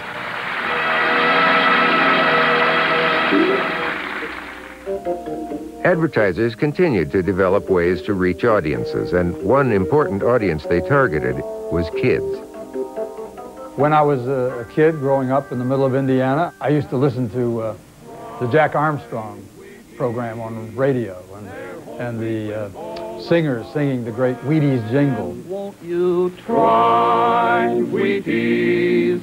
For wheat is the best food of man. They're Wheaties was the first company to use a jingle on the radio, combining the poetry of advertising with music. The jingle echoed its way into the consciousness of kids everywhere. Have you tried Wheaties? They're whole wheat with all of the bran. And you can remember it years and years later. While advertisers did well with the kids, their main goal was to hit the mother lode of buying power, the housewife. Advertisers knew her main concern was, of course, getting the clothes clean. For a wash that's deep clean, sparkling clean, use deep cleaning Oxydol. Oxydol is deep cleaning, deep cleaning, deep cleaning. Their technique for getting to these women? The soap opera. Oxydol, own Ma Perkins. We call them soap operas today because of the Procter & Gambles and the Oxydols and people like that that were using this medium to get to the American housewife and say, if you use our soap, your clothes are going to be cleaner. Ladies, you've heard a lot of interesting promises about wash day products recently, but today I promise you the wash day surprise of your life. A wash so dazzling clean you'll have to rub your eyes to believe it.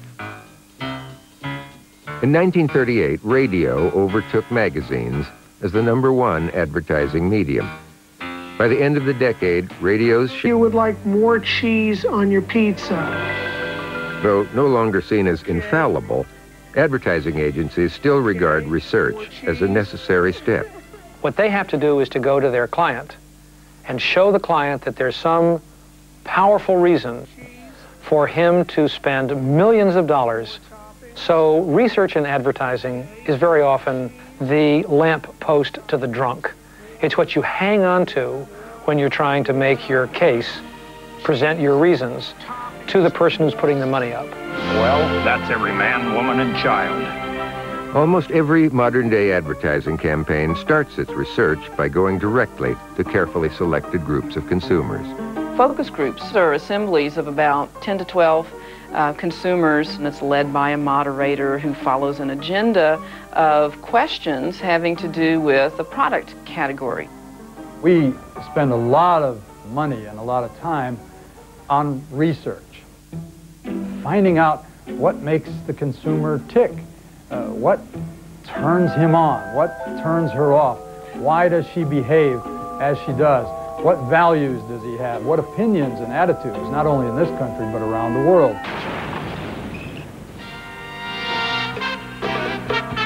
McDonald's first national advertising campaign in 1970 was an example of how the feedback from consumer research could lead to a winning campaign.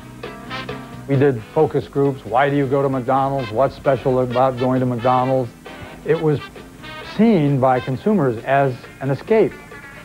McDonald's ad men culled the research to find the best words to sell this escape to the public. A special feeling inside.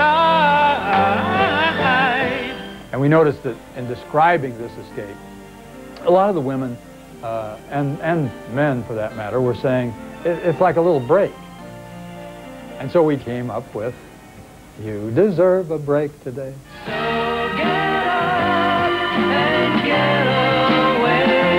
To McDonald's, McDonald's, McDonald's. The research led to a memorable pitch, and a profitable one, too. During the four years the campaign aired, McDonald's sales more than tripled.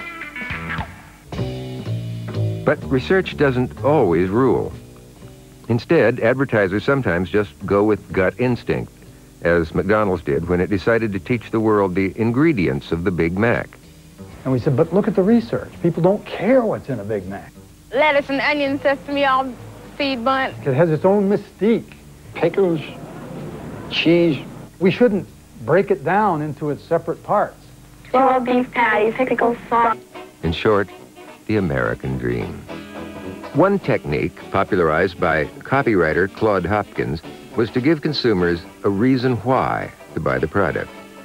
Claude Hopkins sold Schlitz beer by advertising not the taste, but that Schlitz steam cleaned the bottles. Everybody else steam cleaned the bottles, but when Schlitz said it, people believed that only Schlitz did it. It's called reason why advertising. Advertising agencies used their new tools not only to sell popular items, but also to create a need for products. Advertising is manipulation, especially when it started. People really believed the claims, they believed the language. A lot of advertising was aimed at an immigrant class that was just coming to the United States and really wanted to learn how to fit in and how to be classy, and they took it very seriously. Advertisers created the need to be clean as a way to get ahead in life and earn respect. Nothing is more interesting from an advertising historian's point of view than the colonizing of the body. Every orifice in the body has been taken over by commercial interests. A hundred years ago, people would bathe once a week. They must have stunk. Yet advertising was able to sell the idea that germs would exist where dirtiness was. So to a great degree, a lot of what we take as being the natural rhythms of being clean is a result of advertisers. Advertisers convinced the public that every body part needed its own branded product to combat dirt and, even worse, odor. Most people don't think a lot about soap. So you first have to invent the disease and then invent the cure for the disease, which was what BO was. According to advertisers, the nefarious, though rarely terminal, disease of BO had many culprits, chief among them underarm odor. Odor Oh No, the first nationally advertised deodorant, faced the problem of mentioning the unmentionable for polite society. The forbidden word, armpit, was artfully alluded to as within the curve of a woman's arm. Nonetheless, the campaign still shocked consumers. This ad ran in the Ladies' Home Journal, and it so insulted some 200 some readers that they canceled their subscriptions. Yet in the same year, the sales of Odor Oh No went up 112%. With results like these, advertisements for hygiene products continued to play on people's fears of being outcast or ostracized.